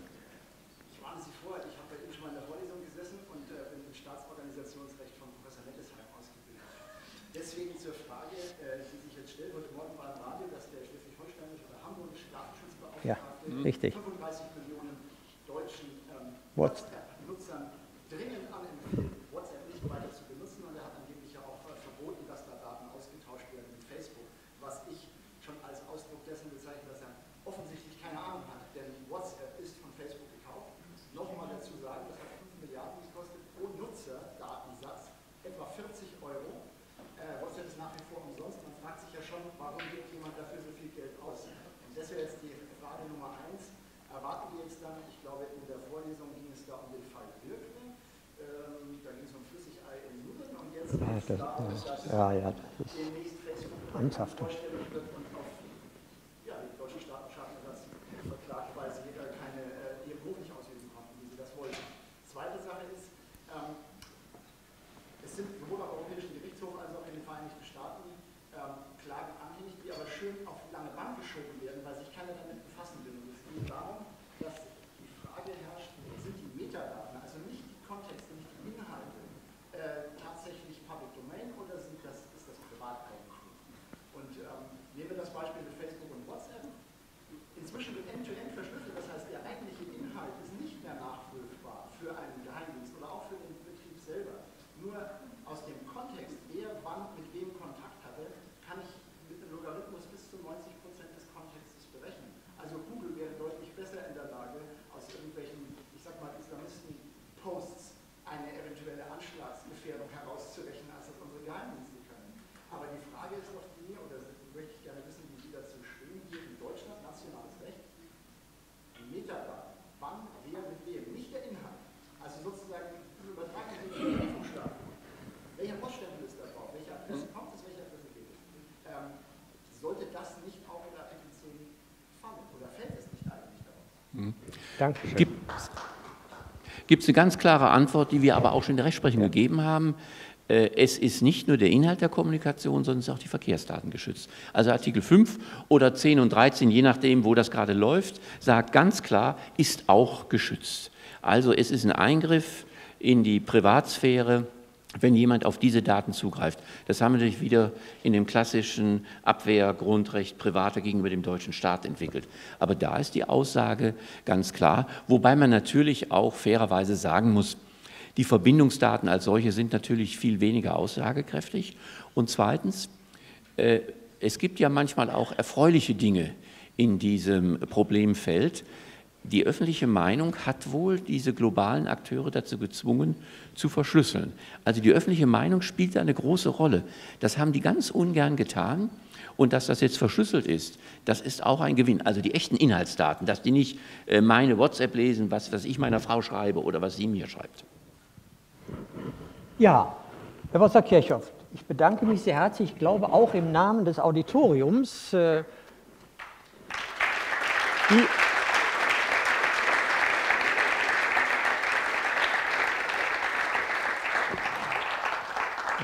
Ich habe natürlich die Gelegenheit genutzt, ähm, ich habe das immer in Klammern gesehen, ich habe natürlich den Staatsrechtslehrer Privat, äh, Professor Kirchhoff, hier natürlich nur reden hören. Das andere habe ich alles, da habe ich immer weggehört. Darum habe ich auch danach nicht gefragt. Nochmal ganz herzlichen Dank, dass Sie da waren. Dankeschön. So, geht es? Ja. Jetzt kommt die Kaffeepause. Nee, äh, noch nicht. Die Kaffeepause kommt noch nicht. Äh, Herr Link wird es mir ein bisschen nachsehen. Ich habe ein bisschen überzogen, aber wir hängen gleich ein bisschen auch dran bei Ihnen. Also hier äh, geht der Gleichheitsgrundsatz, egal wie. Äh, ja, meine Damen und Herren, wie sieht es eigentlich mit den Menschenrechten in anderen Staaten aus? Das war eben schon äh, in den jeweiligen Vorträgen angesprochen worden. Und zur Beantwortung dieser Frage hat die Friedrich-Naumann-Stiftung für die Freiheit einen Referenten gewinnen können, der kompetenter kaum sein könnte, meine ich. Wenn ich jetzt äh, den Heilbronner Stadtrat Michael Georg Link ankündigen würde, würde ich sicher in viele fragenden Gesichter blicken. Aber so ganz falsch wäre es eigentlich nicht. In erster Linie ist allerdings Michael Georg Link derzeit Direktor des Büros für, ich sage es auf Deutsch, demokratische Institutionen und Menschenrechte, also englisch abgekürzt wunderbar ODIHR. Es gibt übrigens Informationsbroschüren darüber hinten, die Sie auch nachher mitnehmen können, der OSZE mit Sitz in Warschau. Die OSZE, das wissen Sie natürlich alles, ist die Organisation für Sicherheit und Zusammenarbeit in Europa äh, mit 57 Teilnehmerstaaten in den USA, Europa und Asien, immerhin die weltgrößte regionale Sicherheitsorganisation. Sie arbeitet daran, mehr als eine Milliarde Menschen in Frieden, Demokratie und Stabilität, dass diese Menschen da drin leben können. Die ODIHR ist dabei, wenn ich das richtig, äh, ich sage es in diesem Falle, gegoogelt habe, die größte Organisation der OSZE. In sein Amt wurde Michael Georg Link 2014 von den 57 Außenministern der Teilnehmerstaaten gewählt, sicher auch, weil er als ehemaliger Staatsminister, Frau Leuthäuser-Schnarrenberger hat es schon angesprochen, im Auswärtigen Amt über internationale Erfahrung verfügt und auch als langjähriger Bundestagsabgeordneter der FDP immer schon wirklich gut international vernetzt war und vernetzt ist. Ich bin jetzt noch schuldig, was ist das mit dem Heilbronner Stadtrat? Ja, das ist äh, die Bodenhaftung, jedenfalls sehe ich es so, die äh, Michael Georg Link trotz aller Internationalität hat. Er ist äh, nämlich immer Heilbronner Stadtrat geblieben und nimmt auch dieses Amt, so gut es geht, einfach wahr. Aber Herr Link, wir werden jetzt mal über das Heilbronner Rathaus hinausschauen auf die Menschenrechte in die große weite Welt. Bitte zu Ihrem Vortrag zur Lage der Menschenrechte in den OSZE-Staaten. Bitte schön. Lieber Herr Möller, der Heilbronner Stadtrat ist froh, dass er nach Karlsruhe fahren kann und ist Karlsruhe dankbar, dass es sowas wie die KVV und die AVG gibt, denn dadurch kann er mit der Stadtbahn ohne Umsteigen direkt nach Karlsruhe fahren. So viel zum Thema Kommunalpolitik, die uns aber heute nicht beschäftigen soll die aber in der Tat, das sage ich auch ganz deutlich, gerade eben zu meiner beruflichen Tätigkeit einfach auch immer ein ganz wichtiger Kontrast ist in meiner Heimatstadt, in der ich wohne. Denn äh, vor Ort sehen die Dinge manchmal ganz anders aus als in den internationalen Konferenzsälen. Deshalb bin ich froh, dass wir heute vor Ort dieses Thema besprechen können. Liebe Frau Leuthäuser-Schnarrenberger ähm, und lieber Jürgen Morlock, Vizepräsident Kirchhoff musste äh, leider bereits gehen, aber er hat den Ton gesetzt dafür, ähm, was ich jetzt ein bisschen mit Ihnen machen will, im ersten Teil meiner Rede, ein bisschen die Realität schildern, in der wir sind äh, international beim Bereich Menschenrechte. Denn wir sind in der Tat sehr, sehr weit weg, extrem weit weg von jeglicher Form internationaler Durchsetzbarkeit äh, vieler menschenrechtlicher Verträge und Dinge und äh, Vereinbarungen, die wir haben, die wir zum Glück haben. Selbst der Europarat, der rechtlich bindende Voraussetzungen hat, und mit der Europäischen Menschenrechtskonvention sogar einen angeschlossenen Gerichtshof hat, der verbindlich Urteile fällen kann, selbst da, und das zeigt das Ausmaß des Problems, in dem wir uns befinden, ohne schwarz malen zu wollen, selbst da werden sehr oft weitgehend folgenlos seine Urteile ignoriert durch einige Staaten. Also in der Tat eine große Herausforderung und in der OSZE, sie umfasst wie gesagt 57 Staaten, ähm, wurde deshalb ganz am Anfang, weil man ja sozusagen keine eigenen Sanktionen, keinen eigenen Gerichtshof hat in der OSZE, hat man gesagt, okay, wir brauchen zumindest eine unabhängige Institution wie ODIR, das Büro, dem ich vorstehen darf, das dann kritisch ansprechen kann, wenn es Probleme gibt, wenn einzelne Staaten gegen die Regeln verstoßen. Was fehlt? Es fehlt zum Beispiel eine ganz klare internationale Verpflichtung aus dem Bereich Recht auf Privatheit. Sabine Leuthers-Schnarrenberger hat anfangs erwähnt, die Überlegung, dass man weitergeht im äh, Artikel 17 des, des, Zivilpakts der Vereinten Nationen, äh, was man durchaus nochmal unterstreichen darf und auch nochmal positiv hervorheben darf, ist, dass Sie damals als Justizministerin und Guido Westerwelle damals als Außenminister massiv Druck gemacht haben und dann eben als Ergebnis äh, in New York beschlossen wurde, in der Generalversammlung der Vereinten Nationen, leider erneut nicht rechtlich bindend, aber politisch, dass eben Menschenrechte im digitalen Zeitalter ein Thema sind, wo die Vereinten Nationen einen ganzen Katalog dazu aufgeführt hat und darunter insbesondere eben das Recht auf Privatheit. Leider muss man sagen, dass seither die Bundesregierung dieses Thema nicht vorangetrieben hat. Eine echte Lücke, das wäre eine Steilvorlage gewesen. Es war damals ein brasilianisch-deutscher gemeinsamer Vorstoß, der mit Mehrheit abgestimmt wurde in der Generalversammlung. Das war spannend, weil die USA und Großbritannien, Kanada, Australien, Neuseeland, die Big Five und viele andere haben massiv dagegen gekämpft äh, und es war ein harter Kampf, aber es gelang mit deutlicher Mehrheit, es am Schluss anzunehmen.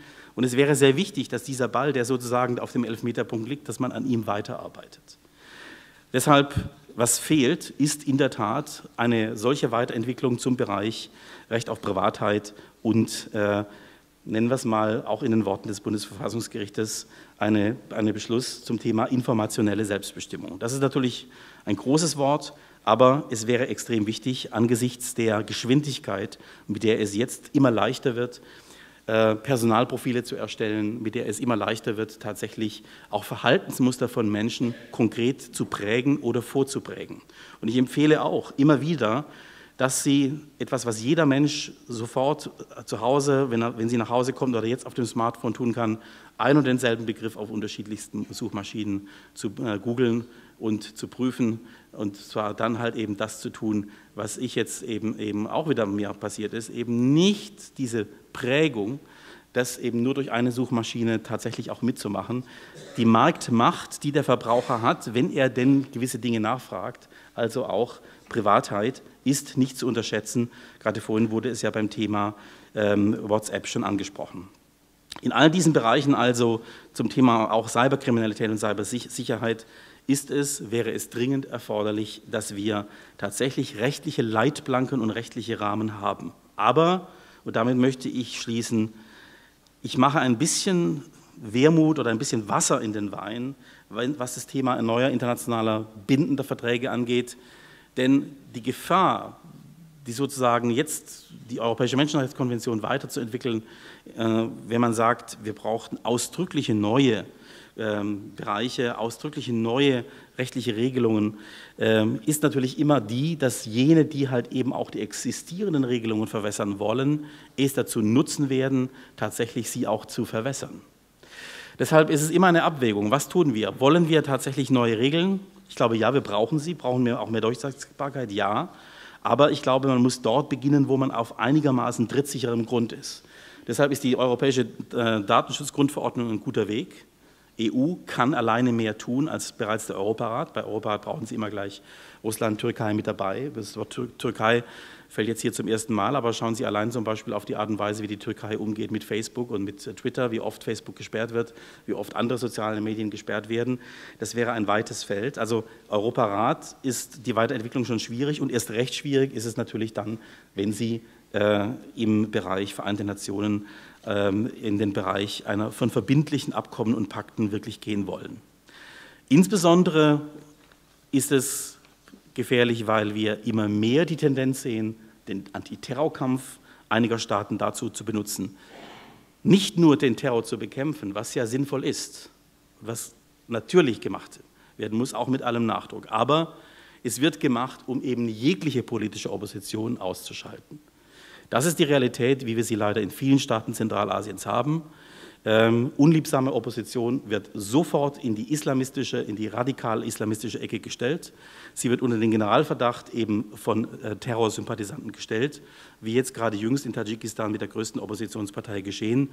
Und wer dann einen Zweifel daran äußert, gilt dann sogar als ein äh, Vertreter von Interessen von Terroristen. Also einen Versuch, die jetzige Situation zu benutzen und insbesondere eben auch gerade auch die äh, Datenkontrolle zu benutzen, um jegliche politische Opposition zu kontrollieren und unter dem Radar einer ähm, äh, Bedeutungslosigkeit äh, tatsächlich zu halten.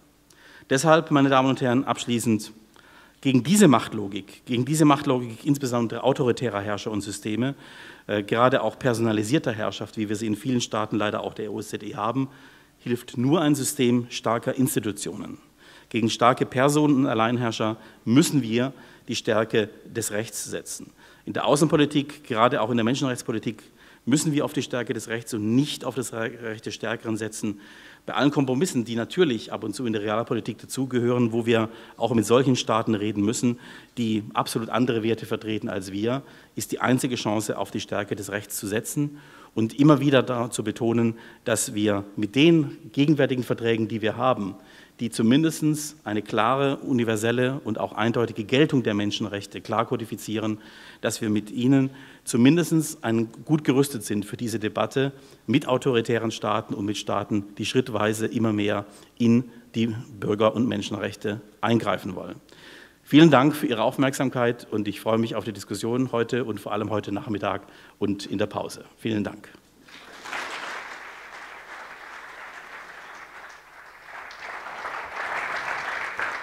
Ja, Herr Helling, herzlichen Dank. Äh, wir setzen uns zur Diskussion nach hinten. Sie haben eben ein Stichwort gegeben, das lässt elegant für mich übergleiten. Sie haben das Stichwort Terrorismusbekämpfung gegeben. Äh, das bietet mir Gelegenheit, den äh, Generalbundesanwalt AD, Harald Range, zu begrüßen, der inzwischen auch unter uns ist. Also wir müssen uns jetzt ein bisschen mehr aufpassen. Aber AD, das ist etwas weiter weg. Das ist ja gar nicht schlecht. Herr Link, Sie haben zu Anfang gesagt, wir sind ganz weit weg von den Menschenrechten. Dann haben Sie so Namen genannt und da habe ich gedacht, das stimmt, Turkmenistan und Usbekistan und äh, die Krim-Tataren und Tadschikistan. Äh, und haben auch zum Schluss gesagt, ich muss Wasser in den Wein gießen. Ich habe so langsam den Eindruck, dass nur Frau Leuthauser-Schnarrenberger uns noch Wein einschenkt und die alle, alle anderen Wasser nachschütten, äh, bei den Bedenken, die doch tatsächlich auftreten. Äh, ist das nicht ein bisschen viel Theorie, ein bisschen viel Optimismus, äh, wenn ich das, was Sie gesagt haben, mit der Realität vergleiche? Das ist die erste Frage. Und die zweite Frage, auf die ich äh, vielleicht auch eine Antwort hätte, die mir äh, durch den Kopf gegangen ist, weil es ja heute auch immer das Gespräch von der Digitalisierung, vom Internet. Wie nutzt denn Ihre Organisation dieses Internet und was stellen Sie damit an? Äh, machen Sie sozusagen bei Wahlbeobachtung gleich äh, live über Ihr äh, iPhone, dass da wieder mal hier die Russen oder wer auch immer was neben die Wahlurne geschüttet haben, anstatt da rein? Oder wie sieht das da aus? Diese zwei Fragen hätte ich gerne zu Anfang. Also das ist, das ist eine gute Frage. Ähm, wir nutzen natürlich auch das Internet sehr intensiv, völlig klar. Wir gehen auch, wenn unsere Wahlbeobachter in, in die verschiedenen Wahllokale gehen, wir haben sogenannte Electronic Pens, also die etwa 200 Fragen, die in jedem Wahllokal zu beobachten und zu beurteilen sind, werden mit so einem elektronischen Stift ausgefüllt und dann geht die Datenübertragung natürlich gleich äh, in die Zentrale. Sonst könnten wir auch überhaupt nicht am nächsten Tag einigermaßen vernünftig was sagen. Also auch wir profitieren natürlich von Daten.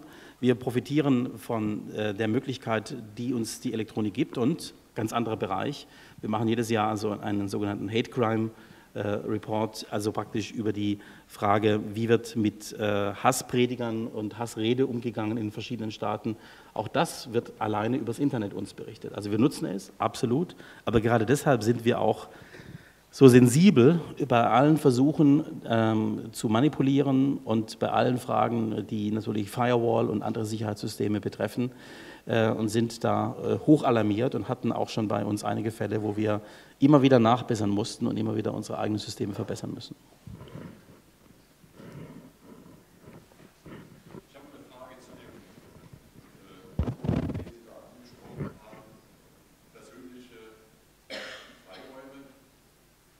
Würde es, würde es, Ihnen was ausmachen? Es war eben besser, als Sie standen. Das, äh, das wäre nett. Dankeschön.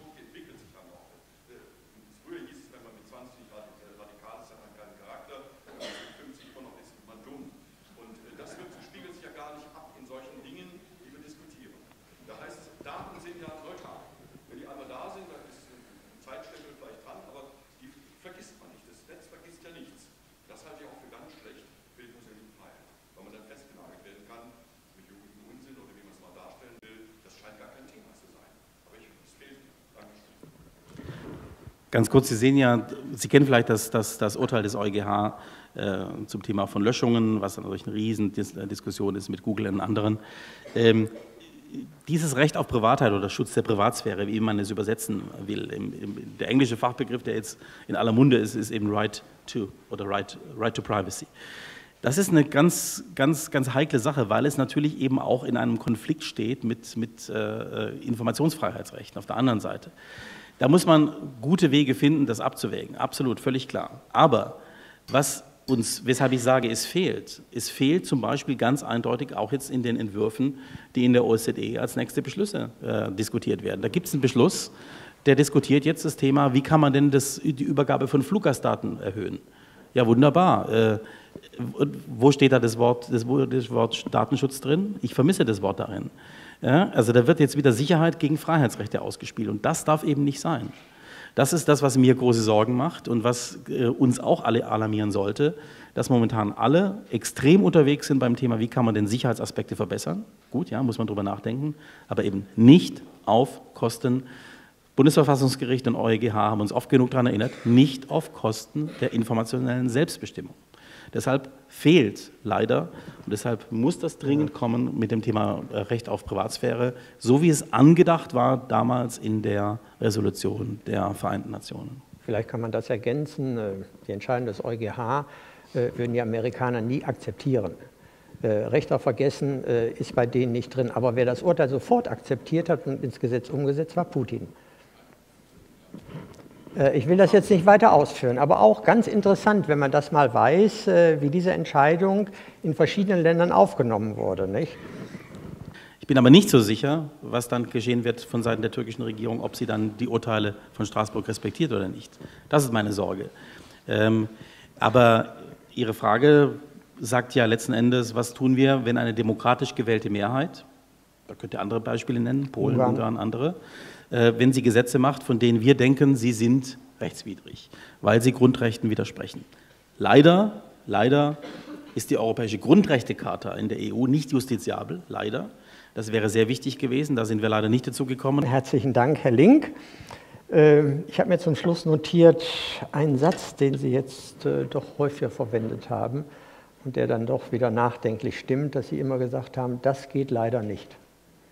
Der war sehr häufig. Und das ist etwas, was uns ja hier umtreibt und was wir dann in der Tat äh, vielleicht heute Nachmittag auch mit der Unterstützung von Frau Leuthäuser-Schnarrenberger, dafür danke ich ihr sehr, äh, die Frau Lotte Leicht, die EU-Direktorin von Human Rights Watch, äh, ist uns leider abhanden gekommen. Aber Frau Leuthäuser-Schnarrenberger hat sich bereit erklärt, gleich mit, ich sage es in Anführungsstrichen, in die Bütt zu steigen. Und ich bin da sehr dankbar. Ich glaube, das wird dann noch ein bisschen lebhafter als vielleicht geplant.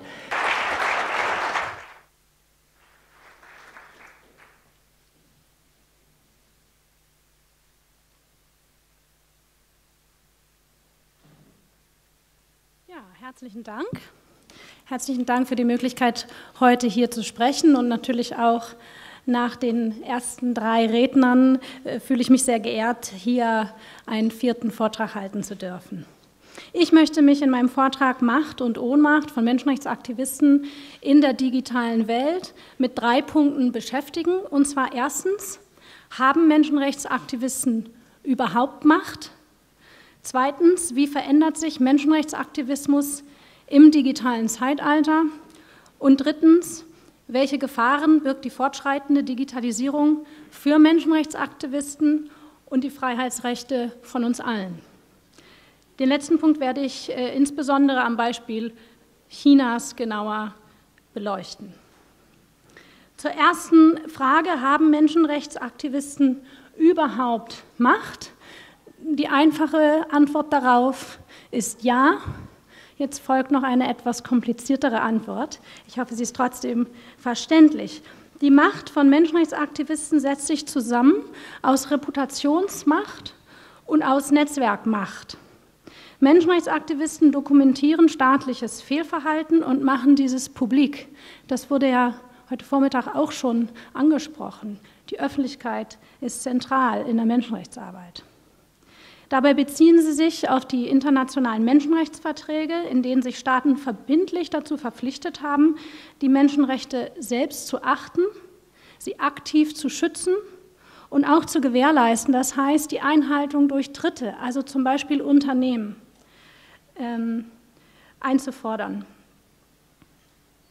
Nach dieser Logik sind Staaten dafür verantwortlich, wenn zum Beispiel Facebook das Recht auf Privatsphäre missachtet.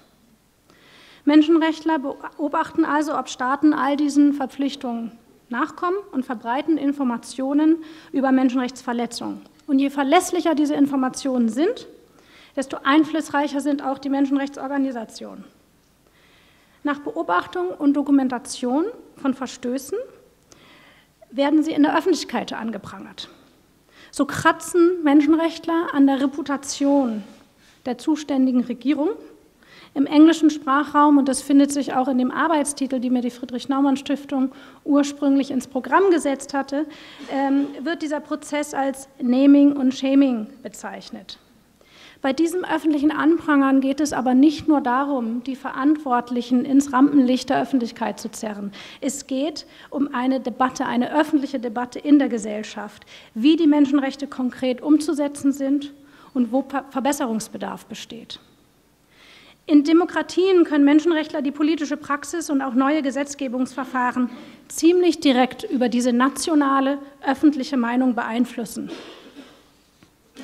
Denn in einem demokratischen Staat bekannt wird, dass die Regierung einzelne Vorgaben von internationalen Menschenrechtspakten missachtet, entsteht sofort ein Rechtfertigungszwang.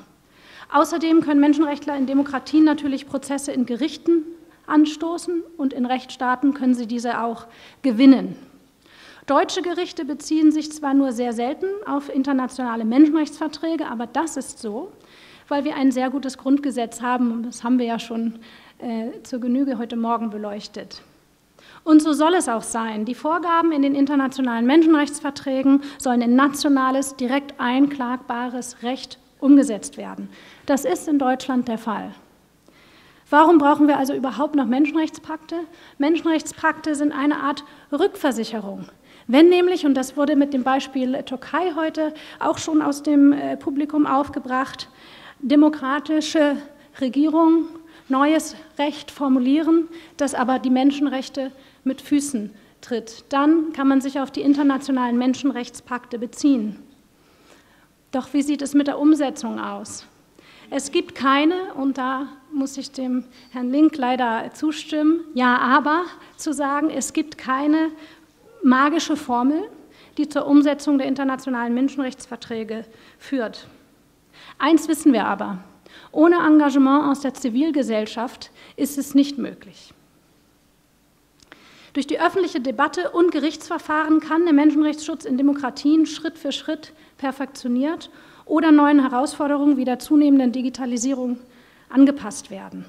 In repressiven, autoritären Staaten sieht es allerdings ganz anders aus. Selbstverständlich haben Menschenrechtsaktivisten auch dort Reputationsmacht. Auch dort prangern sie Menschenrechtsverletzungen öffentlich an.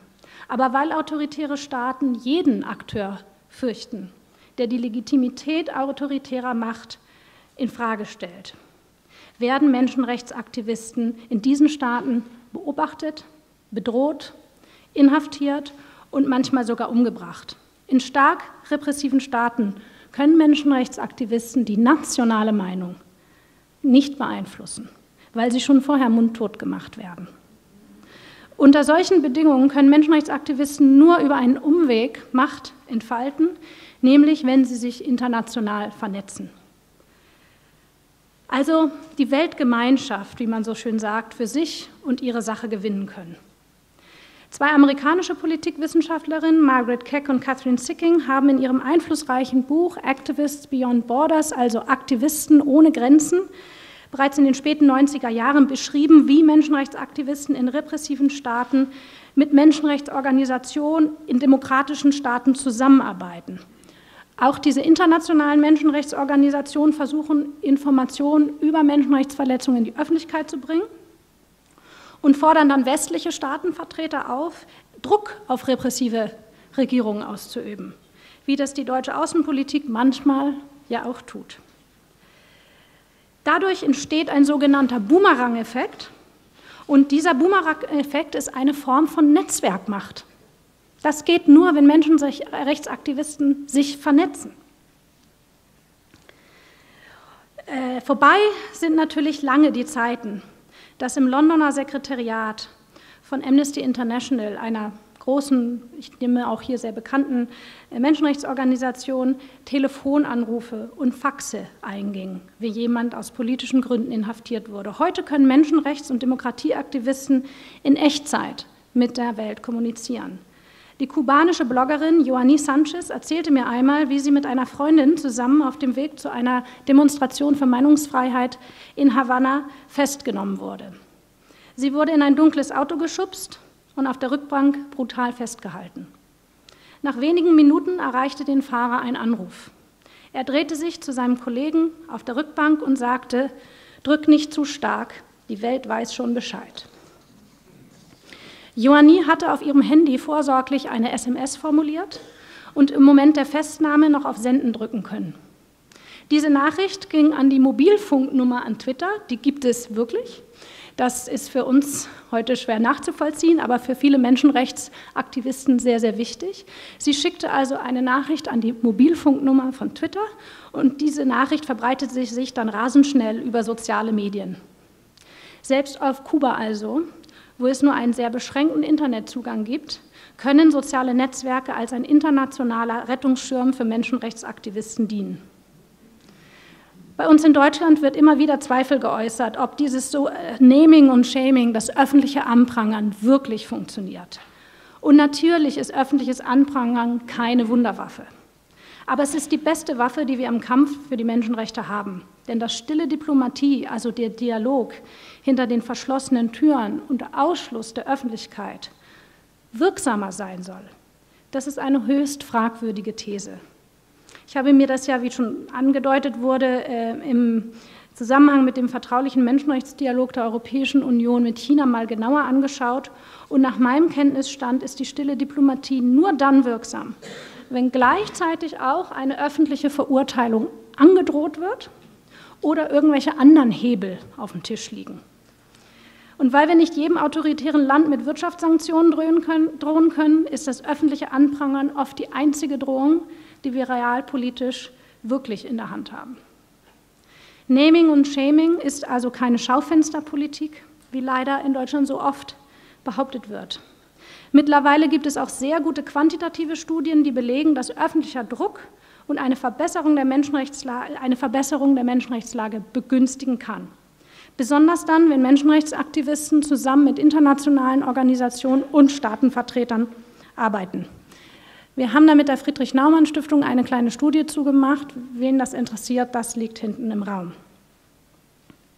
Nachdem ich also habe, äh, versucht habe zu beleuchten, wie Menschenrechts Aktivisten Macht ausüben, komme ich jetzt zur zweiten Frage. Wie verändert sich Menschenrechtsaktivismus im digitalen Zeitalter? Zunächst einmal erleben wir momentan einen enormen Zuwachs an Informationen. Dank der fortschreitenden Digitalisierung ist es sehr leicht geworden, Berichte über Menschenrechtsverletzungen international zu verbreiten, egal ob Sie jeden Morgen noch Zeitungspapier in die Hand nehmen oder Informationen im digitalen Format lesen ich vermute, Sie sind alle tagtäglich mit Berichten über Menschenrechtsverletzungen konfrontiert. Und wegen dieser Informationsflut haben viele von uns das Gefühl, die globale Menschenrechtslage werde immer schlechter. Auch das ist heute Morgen schon angeklungen. Natürlich stimmt das leider für manche Länder, aber ich kenne keine nennenswerte akademische Studie, die einen solchen globalen Verschlechterungstrend empirisch wirklich belegen könne.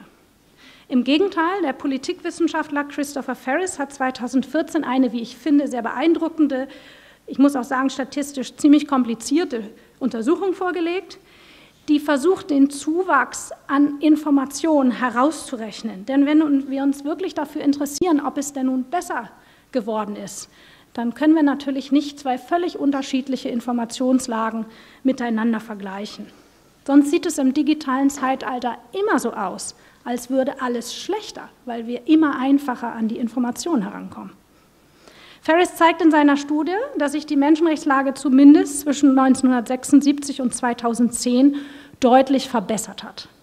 Zu einem ähnlichen Schluss kommt auch Steven Pinker, ein Evolutionspsychologe an der Universität Harvard, der über Gewalt forscht.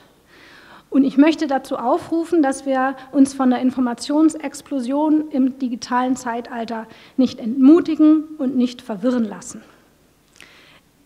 Seit Einführung der UN-Menschenrechtsverträge, die in diesem Jahr ihr 60. Jubiläum feiern, ist der Menschenrechtsschutz besser geworden, nicht schlechter. Ich weiß nicht, ob Sie mir diesen Wein abkaufen, aber ich möchte Ihnen diesen akademischen Wein sehr empfehlen. Die Flut an digital verfügbaren Informationen führt auch zu einer gewissen Abstumpfung und Gleichgültigkeit. Nur selten gelingt ein globaler Aufschrei wie bei der Inhaftierung und Prügelstrafe des saudischen Internetaktivisten Raif Badawi. Ein Grund dafür, dass Badawi international so berühmt ist, ist sicherlich, dass seine Strafe besonders grausam war. Er gründete, wie viele hier vielleicht wissen, 2008 ein liberales Online-Forum und schrieb auf seiner Webseite regelmäßig über Politik und Religion in Saudi-Arabien. 2013 bekam er dafür eine siebenjährige Haftstrafe. 2014 wurde sein Strafmaß auf zehn Jahre Haft und 1000 Peitschenhiebe hochgesetzt. Im Jahr 2015 wurde er erstmals öffentlich ausgepeitscht. Es ist gut, dass Raif Badawi internationale Aufmerksamkeit bekommt, auch von der Friedrich-Naumann-Stiftung. Dank dieser Aufmerksamkeit wurde zumindest die Prügelstrafe ausgesetzt. Gleichzeitig gibt es noch viele andere Blogger auf der Welt, die internationale Aufmerksamkeit verdient hätten und diese nicht bekommen. Sie kennen sicherlich den Begriff CNN-Effekt, also eine Kurzformel für die Macht des Fernsehens. Das klingt heute reichlich verstaubt, wie vom vorgestern. Denn heute sind das soziale Netzwerk Facebook und die Algorithmen von Google sehr viel mächtigere Meinungsmacher als der Fernsehsender CNN. Herr Müller widerspricht mir, aber das äh, können wir ja gleich ausführlich diskutieren. Ich würde trotzdem äh, als wichtigsten Punkt festhalten wollen, in der digitalen Welt ist nicht mehr der Zugang zu Informationen über Menschenrechtsverletzungen begrenzt, sondern die internationale Aufmerksamkeit. Informationsökonomen sprechen von der Aufmerksamkeit als knappes Gut, so wie Gold, ein Gut, das nicht zu jeder Zeit und an jedem gewünschten Ort zur Verfügung steht. Menschenrechtsaktivisten in repressiven Staaten oder auch solche in Krisengebieten bekommen das zu spüren. Internationale Aufmerksamkeit ist begrenzt. Und viele ringen gerade deswegen und trotz der fortschreitenden Digitalisierung immer noch um Aufmerksamkeit, um unsere Aufmerksamkeit. Selbstverständlich gibt es dank der Digitalisierung auch wichtige Innovationen im Menschenrechtssektor und ganz neue Formen des Aktivismus. Wieder vielleicht eine positive Nachricht. Die amerikanische Organisation Witness zum Beispiel hat eine Plattform entwickelt, wo jeder, der ein internetfähiges Handy hat, kurze Videos hochladen kann, die Menschenrechtsverletzungen dokumentieren. Das ist nicht immer ungefährlich, aber gleichzeitig finde ich ein vielversprechendes Format. Die Videos sind natürlich mit Metadaten wie zum Beispiel GPS, Geopositionsdaten ausgestattet und können so mit anderen verglichen und auch verifiziert werden. Videobeweise von Menschenrechtsverletzungen werden in Zukunft auch vor Gerichten, denke ich, eine immer größere Rolle spielen, inklusive vor dem Internationalen Strafgerichtshof in Den Haag. Und wir gehen damit einen Schritt weg von der Straflosigkeit, die wir schon so oft beklagt haben. Die Digitalisierung beschert Menschenrechtsaktivisten also einen Machtzuwachs. Sie bietet neue Instrumente für die Dokumentation von Menschenrechtsverletzungen, die Verbreitung dieser Informationen und für die so wichtige internationale Vernetzung.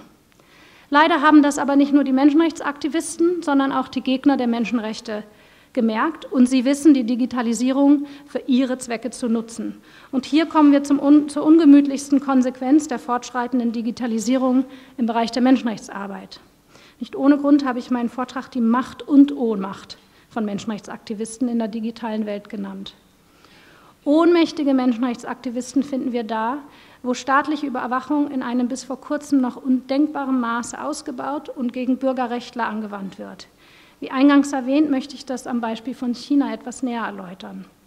Der Blick nach China lehrt uns, warum eine Regulierung des Netzes und ein effektiver Datenschutz so wichtig wären für Freiheit und Demokratie und welches Missbrauchpotenzial durch fortschreitende Digitalisierung unserer Welt entsteht. Professor Kirchhoff hat heute Morgen richtigerweise darauf hingewiesen, dass heute vor allem private Unternehmen, nicht Staaten, Daten über uns sammeln. und dass die Firmen primär von Profit getrieben sind. So weit, so gut. Aber was passiert, wenn jemand die Daten gezielt für die Einschränkung von Meinungsfreiheit, für politische Repression nutzt? Vor gut zehn Jahren waren soziale Netzwerke für Chinas Menschenrechtsaktivisten noch ein Segen. Berühmt ist zum Beispiel der Fall von Sun Zhegang, ein junger Mann aus Wuhan, der am 20. März 2003 im Alter von nur 27 Jahren wegen vergessener Ausweispapiere in Guangzhou festgenommen und dann in Polizeigewahrsam zu Tode gefoltert wurde. Seine Geschichte verbreitete sich blitzartig über soziale Medien und führte 2003 zur Abschaffung von äh, Shorong Song. Das ist eine Form der Administrativhaft, wo die Polizei ohne jeglichen richterlichen Beschluss eine Festnahme für drei plus ein Jahr anordnen kann. Die Mobilisierung der öffentlichen Aufmerksamkeit in China wohlgemerkt durch soziale Medien nach seinem Tod war eine Sternstunde des Menschenrechtsaktivismus in China. Ohne soziale Medien wäre das überhaupt nicht denkbar gewesen.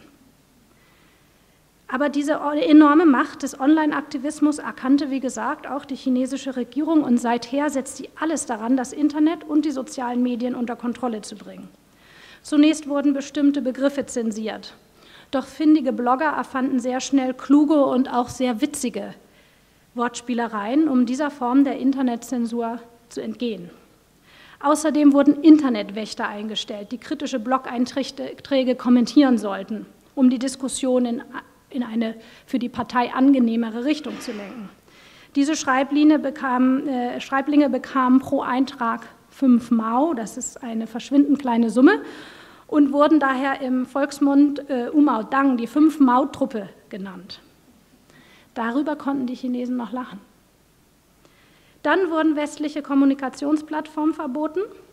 In einem Pekinger Hotelzimmer fand ich äh, im letzten November einen auf feinem, wunderschönen Papier gedruckten Hinweis, dass bestimmte Webseiten in China gesperrt seien.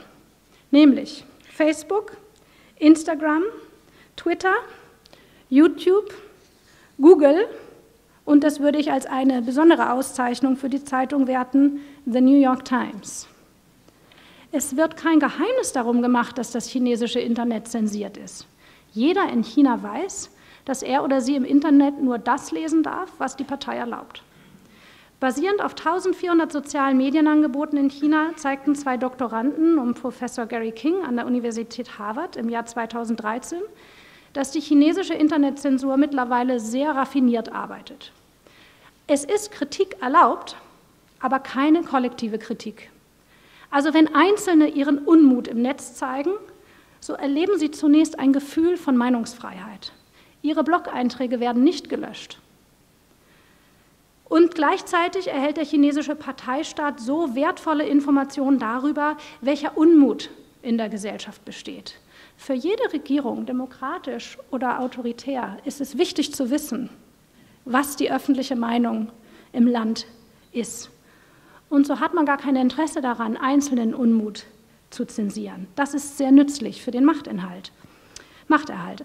Erst wenn ein kritischer Blog-Eintrag zu oft weitergeleitet wird, zu viel Aufmerksamkeit bekommt oder eine Gruppe von Menschen damit beginnt, sich online zu organisieren, dann greift die Internetzensur zu.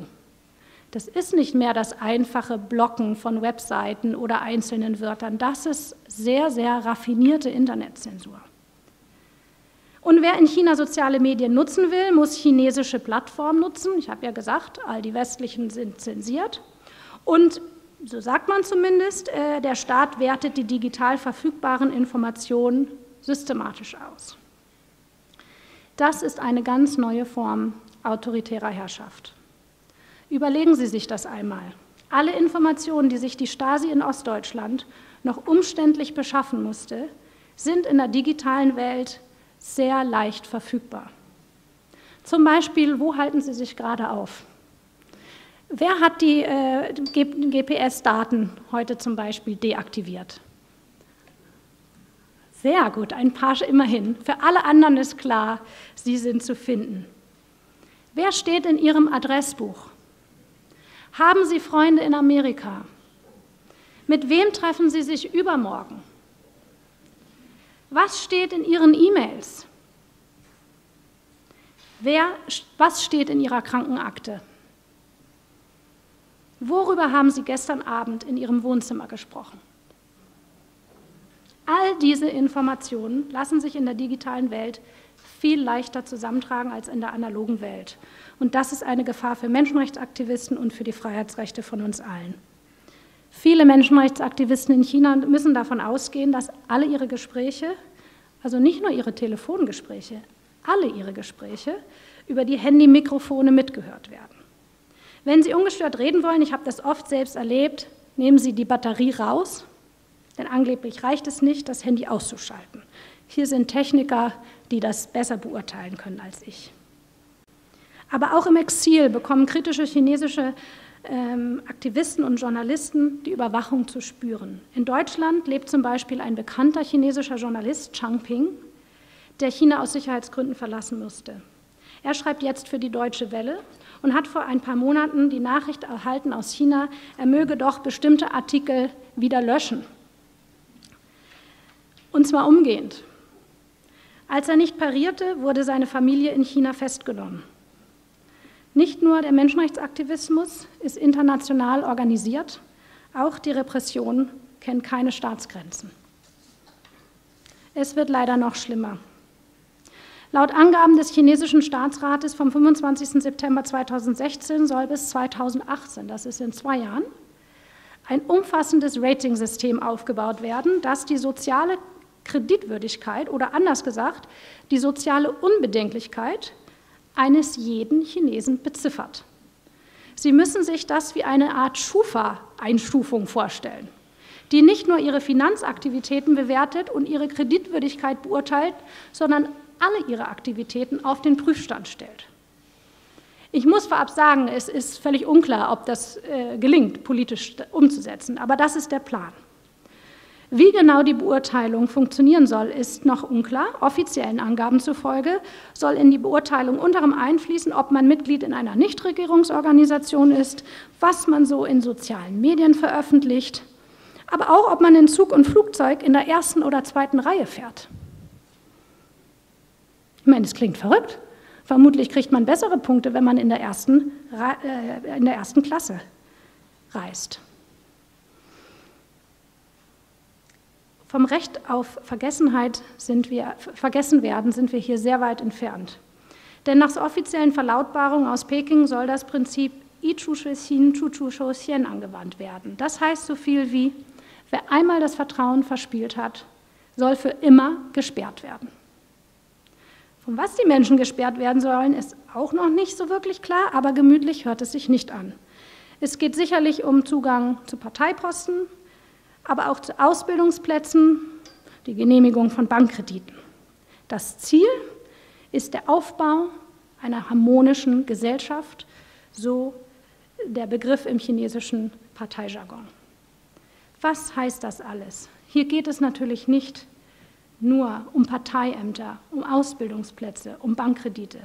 Es geht darum, durch umfangreiche Datenanalyse diejenigen in der Gesellschaft zu finden, die sich für Freiheit und Menschenrechte einsetzen und sie mundtot, aber auch gesellschaftsunfähig zu machen.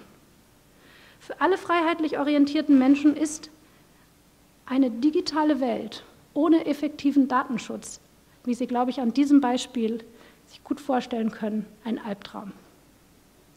Macht haben Menschenrechtsaktivisten in der digitalen Welt nur so lange, wie sie technisch die Nase vorn haben oder wenn es uns gelingt, den Datenschutz, das Recht auf Privatsphäre, Meinungs- und Informationsfreiheit auch im digitalen Zeitalter effektiv zu schützen. Sobald ein Staat oder auch ein Unternehmen die technisch zur Verfügung stehenden Mittel für eine systematische Überwachung wirklich einsetzt, kippt die Macht von Menschenrechtsaktivisten in Ohnmacht. Und dann ist es um die Freiheit von uns allen nicht gut bestellt. Vielen Dank.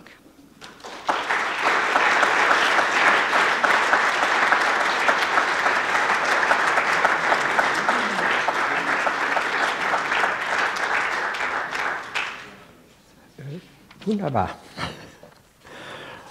Frau Dr. Kitzelbach, ganz herzlichen Dank. Äh, das waren meine wichtigen Notizen, danke. Dass Sie das auch so mit Beispielen gewürzt haben, weil das wirkt einfach anschaulicher aus Ihrer großen Erfahrung in China. Und äh, wir werden das jetzt fortsetzen hier in der Diskussion. Ich darf einfach die Diskussionsteilnehmer bitten, Herr Link, äh, Frau Leuthäuser-Schnarrenberger und dann auch Herrn Spohr, sich mit mir hier auf das Podium zu begeben. Äh, ich überlasse den Damen und Herren die Sessel, bitte sehr. Vielleicht eine Dame hier, eine da und die Herren außen. Äh, ich persönlich äh, habe einen Stuhl bekommen. Nein, setzen Sie sich bitte hier hin. Der nicht vorgesehen war, weil, äh, wie gesagt, die EU-Direktorin äh, uns verloren gegangen ist. Aber ich habe mir den dann schön geredet, habe gesagt, es ist eigentlich so in die Richtung der Farbe, wie Verfassungsrichter ihre Roben tragen. Ich meine, wenn man so ein bisschen blind ist, kann man da vielleicht in diese Richtung gehen. Äh, ich mache das, außerdem ist ein bisschen erhöht. Also ich sehe es ein bisschen, ach mal höher sitzen als die ehemalige Bundesjustizministerin, habe ich mir immer schon mal vorgestellt. Das ist ja auch nichts Schlechtes. Ja, meine Damen und Herren, wir gehen. Sie haben jeweils ein äh, Mikro. Wir müssen uns also, oder Sie müssen sich nicht jeweils mit zwei um eins schlagen. Also da sind wir schon digital ein bisschen weiter. Und äh, ich muss gleich dazu sagen, wir müssen uns in der Zeit sehr begrenzen, weil Frau Leuthäuser-Schnarrenberger in dieser ganz undigitalen Welt äh, mit der Bahn, nehme ich mal an, äh, eben äh, einfach weg muss. Also deshalb äh, gibt es trotzdem keinen Ritt über den Bodensee, sondern wir sollten schon ein paar Dinge ansprechen, die wichtig sind. Amerikaner kennen natürlich auch ein Recht ähm, auf Privatsphäre, aber das setzt viel später an auch Recht auf Datenschutz, aber nicht, dass das Erfassen, Speichern, wie Herr Kirchhoff heute nochmal unmissverständlich klar gemacht hat, schon etwas ist, was datenschutzrechtlich relevant ist. Die sagen, erst darf man mal alles erfassen, sammeln, vernetzen und so weiter. Aber wenn es dann um das Verwerten geht, dann sind die zum Teil rigoroser ja, als wir, ja. weil sie sagen, was nicht legal erworben worden ist, also irgendeine illegale Abhörmaßnahme oder vielleicht mit Folter aus irgendjemandem was rausgequetscht, dann sagen die, wenn es illegal erworben ist, darf es im Gericht nicht verwertet werden. Also Früchte vom verbotenen Baum, faul, die sind verboten, die gibt es nicht. Also da gibt es wirklich große äh, Unterschiede. Und beim Recht auf Vergessen, um dieses noch zu sagen, ich habe ja im Google-Beirat gewirkt, ähm, zusammen mit sieben anderen ähm, Juristen, Philosophen, allen möglichen, äh, aus Europa, mit sehr unterschiedlichen Vorstellungen. Und da haben wir einen wirklichen Streitpunkt gehabt in unserem Gremium. Wir sollten so ein bisschen Google sagen, wie sollen sie denn damit umgehen? Es geht ja um Persönlichkeitsrechte und nicht um Geschäftemacherei. Herr Kirchhoff hat ja da seine äh, Bedenken formuliert gehabt.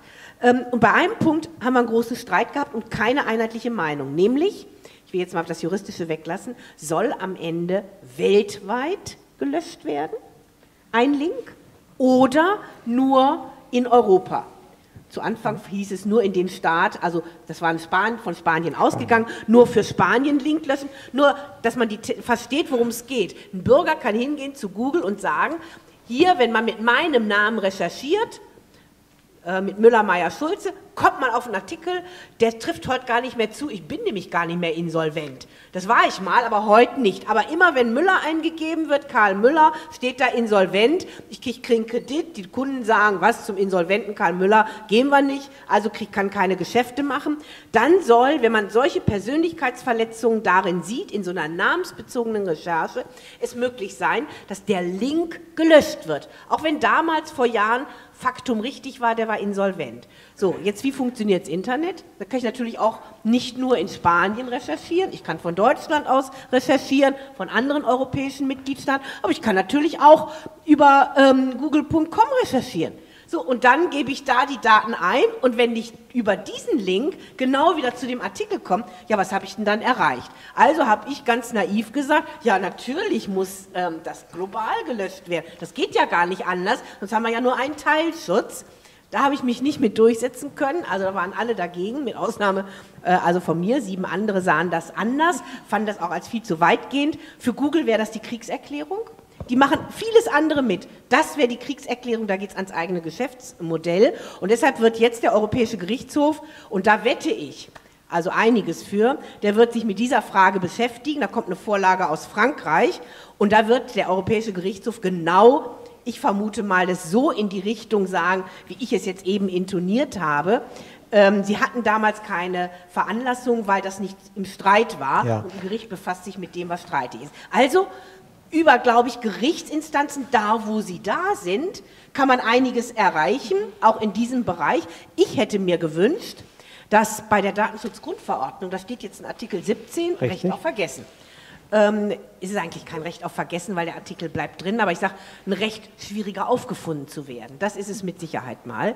Ähm, und da hätte man natürlich aufnehmen können, die Reichweite so einer ist Löschungs aber nicht gelöst. Hat und das ist, ist da offen, ja, ja. nicht gesagt, man hat sich nicht mhm. einigen können, aber will ausnahmsweise mal eines sagen, die Bundesregierung hatte immerhin versucht, einen Formulierungsvorschlag einzubringen, der, wir hatten da etwas mitgewirkt, der sich genau in diese Richtung bewegte, aber da waren sie die Einzigen, ich will mal sagen, die haben das zaghaft eingebracht, aber es war keinerlei Diskussion und damit war es eben gestorben und deshalb hat man die Chance nicht genutzt. Ja, Herzlichen Dank, Frau Leuthäuser-Schnarrenberger. Was ich dem entnehme, ist natürlich, äh, das haben Sie vorhin schon angesprochen, und das kommt hier auch immer wieder bei dem Thema, das wir haben in Richtung Menschenrechte zum Ausdruck. Das Rechtsverständnis auch von der Historie ist eben halt ein anderes. Und können wir mit unserem Rechtsverständnis, ich glaube, Sie haben es gesagt, oder ich glaube, Sie waren es, Herr Link, der gesagt hat, wir können nicht die Menschenrechte des Westens allen anderen überstülpen. Man kann natürlich gegen haben, Menschenrechte, ist egal ob West oder Ost, sind überall gleich. Menschenrechte ist zum Beispiel Würde des Menschen und die ist in Usbekistan eigentlich nicht anders als äh, in Köln oder in Cottbus beispielsweise. Aber dahin zu kommen, wir haben ja hier immer punktuell Dinge, die angesprochen werden. Aber unsere Idee ist ja ein Völkerrecht, ein Völkerrecht, wohlgemerkt, ein Völkerrecht, ein digitalisiertes praktisch. Dahin zu kommen, wenn wir die Technik dann nochmal hineinnehmen, äh, die auch heute angesprochen worden ist, äh, kleiner Rekurs auf äh, Frau Kinzelbach, die ja gesagt hat, äh, was richtig ist, Facebook und wenn das über die Social Medias geht, nur meine Erfahrung ist, sobald die Bilder nicht im deutschen Fernsehen bei CNN oder über die großen Sender laufen, tut sich da gar nichts. Erst dann erhebt sich sozusagen der Sturm der Entrüstung. Dort wird es also transportiert. Ich habe sehr häufig schon erlebt, dass im Internet Dinge standen, die erst relevant wurden, als dann vier, sechs Wochen später eine überregionale Zeitung das aufgegriffen hat. Da bekam es auf einmal Drive und wurde interessant. Also da kann man drüber diskutieren, aber das soll nicht der Hauptpunkt sein. Für mich ist immer noch die Überlegung, wie nähern wir uns an bei diesen doch sehr unterschiedlichen Rechtsauffassungen, auch bei der Technik, die gemacht wird, ob in China, in den USA, bei uns. Wo ist der Ansatzpunkt, Herr Link? Helfen Sie mir doch einfach nochmal, dass wir, ich will nicht sagen Durchbruch kriegen, aber wo wir sagen, außer guten Willen, gibt es noch ein bisschen mehr, was wir machen können. Ja, ich bin froh, dass wir nochmal darauf zurückkommen. Es ist nämlich gerade vorhin schon angeklungen mit dem Beispiel äh, Pakistan oder auch andere ähm, nach dem Motto, ähm, ja, in der Tat, es gibt eine regionale Interpretation der Menschenrechte oder gar eine komplett regionale Verständnis. Das mag in vielen Bereichen so sein, aber erinnern wir uns daran, was das eigentliche Kern ist. Nicht Hierarchie, sondern Kern sind einige wenige Dinge. Menschenwürde, Meinungsfreiheit, auch Versammlungsfreiheit und Wahlrecht. Ja, um mal einige wirklich absolute Kerndinge zu nennen, die in ganz unterschiedlichen Kulturkreisen, egal aus welchem religiösen Bereich sie kommen, akzeptiert sind und genau aus diesem Grunde eben auch immer wieder in den 50er, 60er, 70er Jahren auch ähm, von den Vereinten Nationen ganz unzweideutig so verabschiedet wurden. Ich rede nicht über regionale Auslegungsunterschiede, die es immer gibt, die es selbst zwischen USA und Deutschland gibt. Wir haben es gerade gehört. Oder Beispiel, das möchte ich nochmal ausdrücklich unterstreichen, was Sie sagten, Frau Lothar-Schnarrenberger, der Shitstorm in, Nor in, Norwegen, der größte Shitstorm aller Zeiten, der in Norwegen war, äh, weil in der Tat in der größten Zeitung des Landes ein eben, eben nacktes Mädchen mit dem berühmten Vietnambild das Mädchen, äh, das von einer Napalmbombe unter anderem getroffen oder äh, wurde und unter schrecklichen Verletzungen lebt, was äh, die norwegische Zeitung auf dem Titelbild hatte und was dann von Facebook automatisch alles gelöscht wurde. Das zeigt natürlich, es gibt Auslegungsunterschiede und es gibt natürlich auch unterschiedlichen Spielraum, die Dinge anzuwenden. Aber der Kern muss klar sein.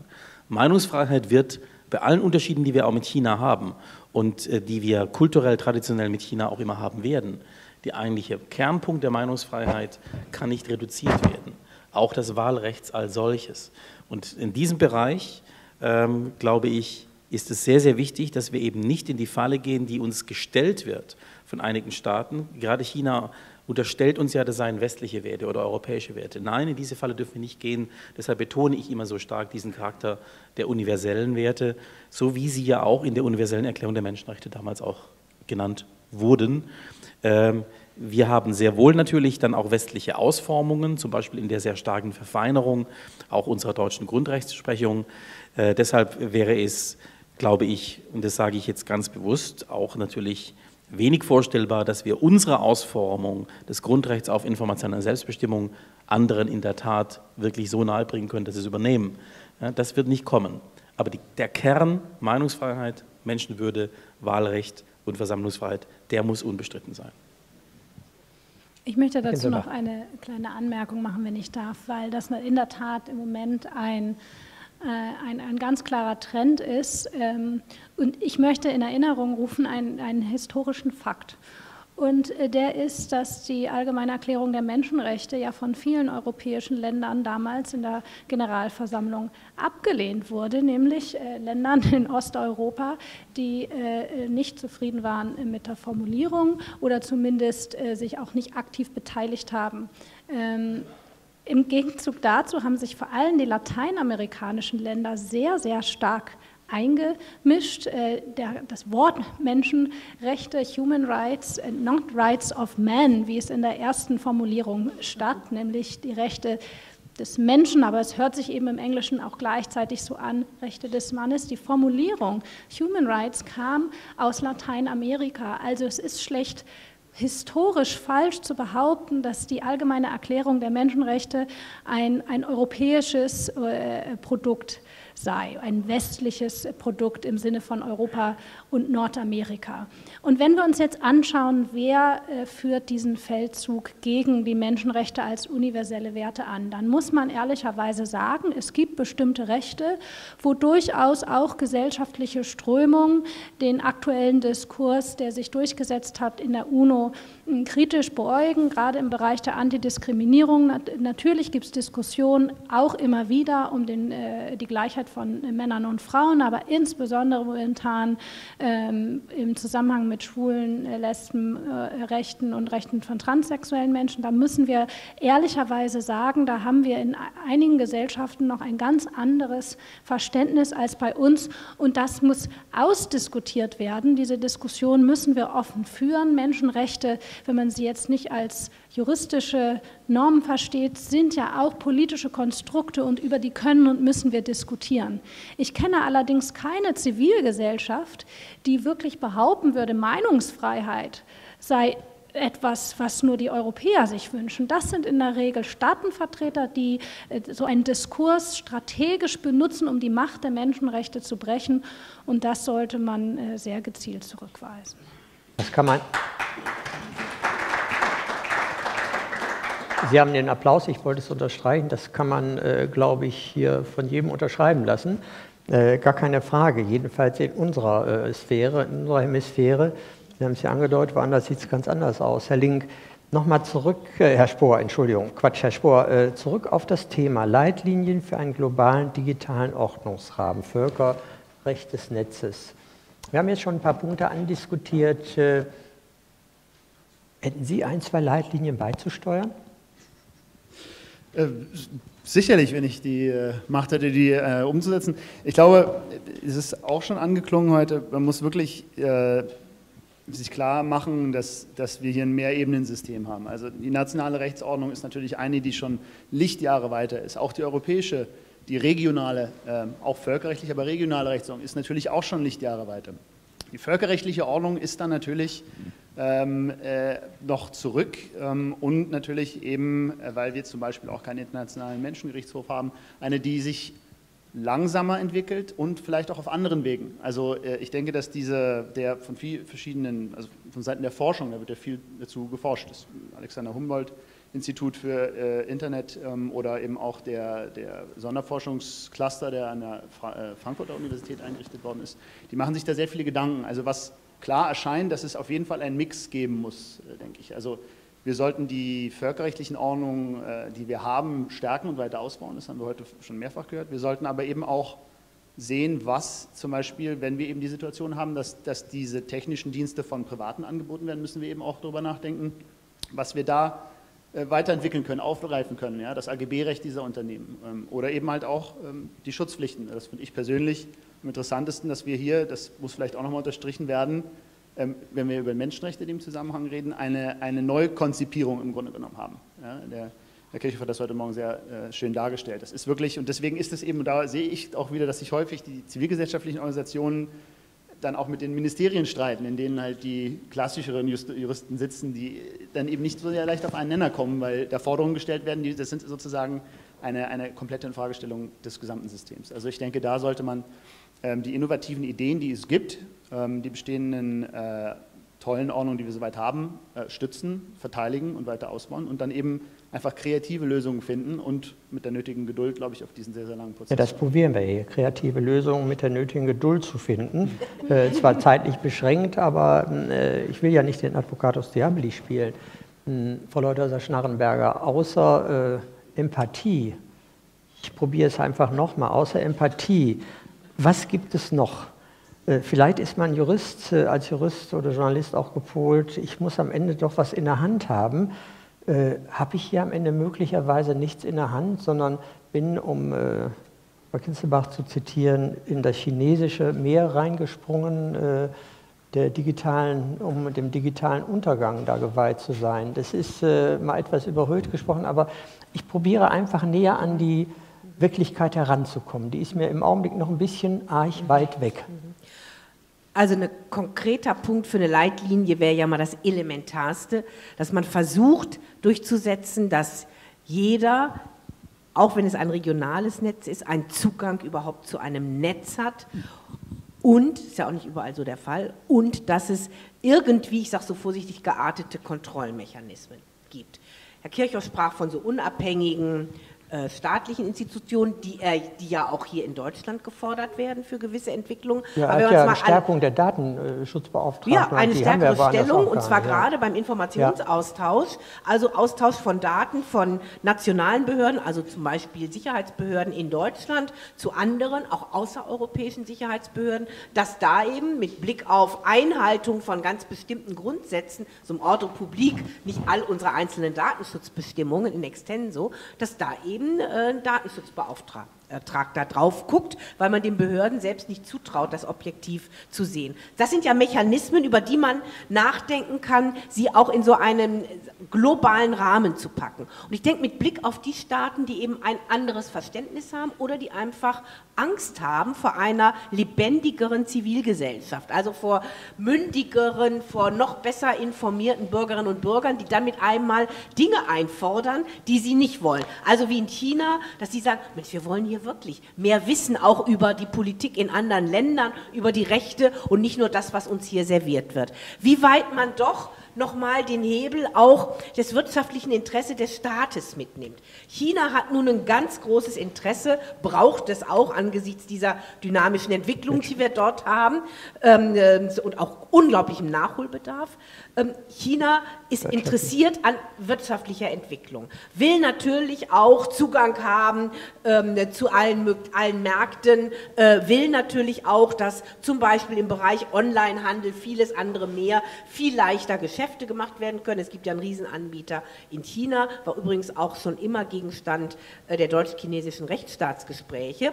Da gucken Sie dann sehr drauf, wie kann man denn da den Rahmen verbessern, weil es Ihnen nutzen würde. So, und das sind sind doch in meinen Augen dann die Hebel, wo man sagen muss, können wir sehr gut drüber reden. Ja, natürlich, stärkere Möglichkeiten des Onlinehandels, was mit Bezahlen, mit all diesen Dingen, die da sind, die man irgendwo ein bisschen regeln muss, damit Rechtssicherheit für die Beteiligten besteht. Aber dann muss auch hier mehr sein an Rechten der Einzelnen, der Bürger beim Zugang zu diesem Medium. Also indem man versucht, das finde ich jetzt kein, nichts Unanständiges, indem man versucht zu sehen, wo hat ein Staat ein Interesse und das zu versuchen zu verbinden mit einer Stärkung dann auch Kernelemente von äh, Menschenrechtsschutz hier zum Beispiel mit generell Zugang zum Internet, weniger Kontrolle, dass jemand, der dreimal auf einer Seite war, die als kritisch gesehen wird, dann sofort äh, als Staatsfeind angesehen wird, anderes mehr. Also ich glaube, das muss man wirklich in dieser Richtung probieren, weil sich hinstellen und sagen, also jetzt wollen wir mal durchdeklinieren den Zivilpakt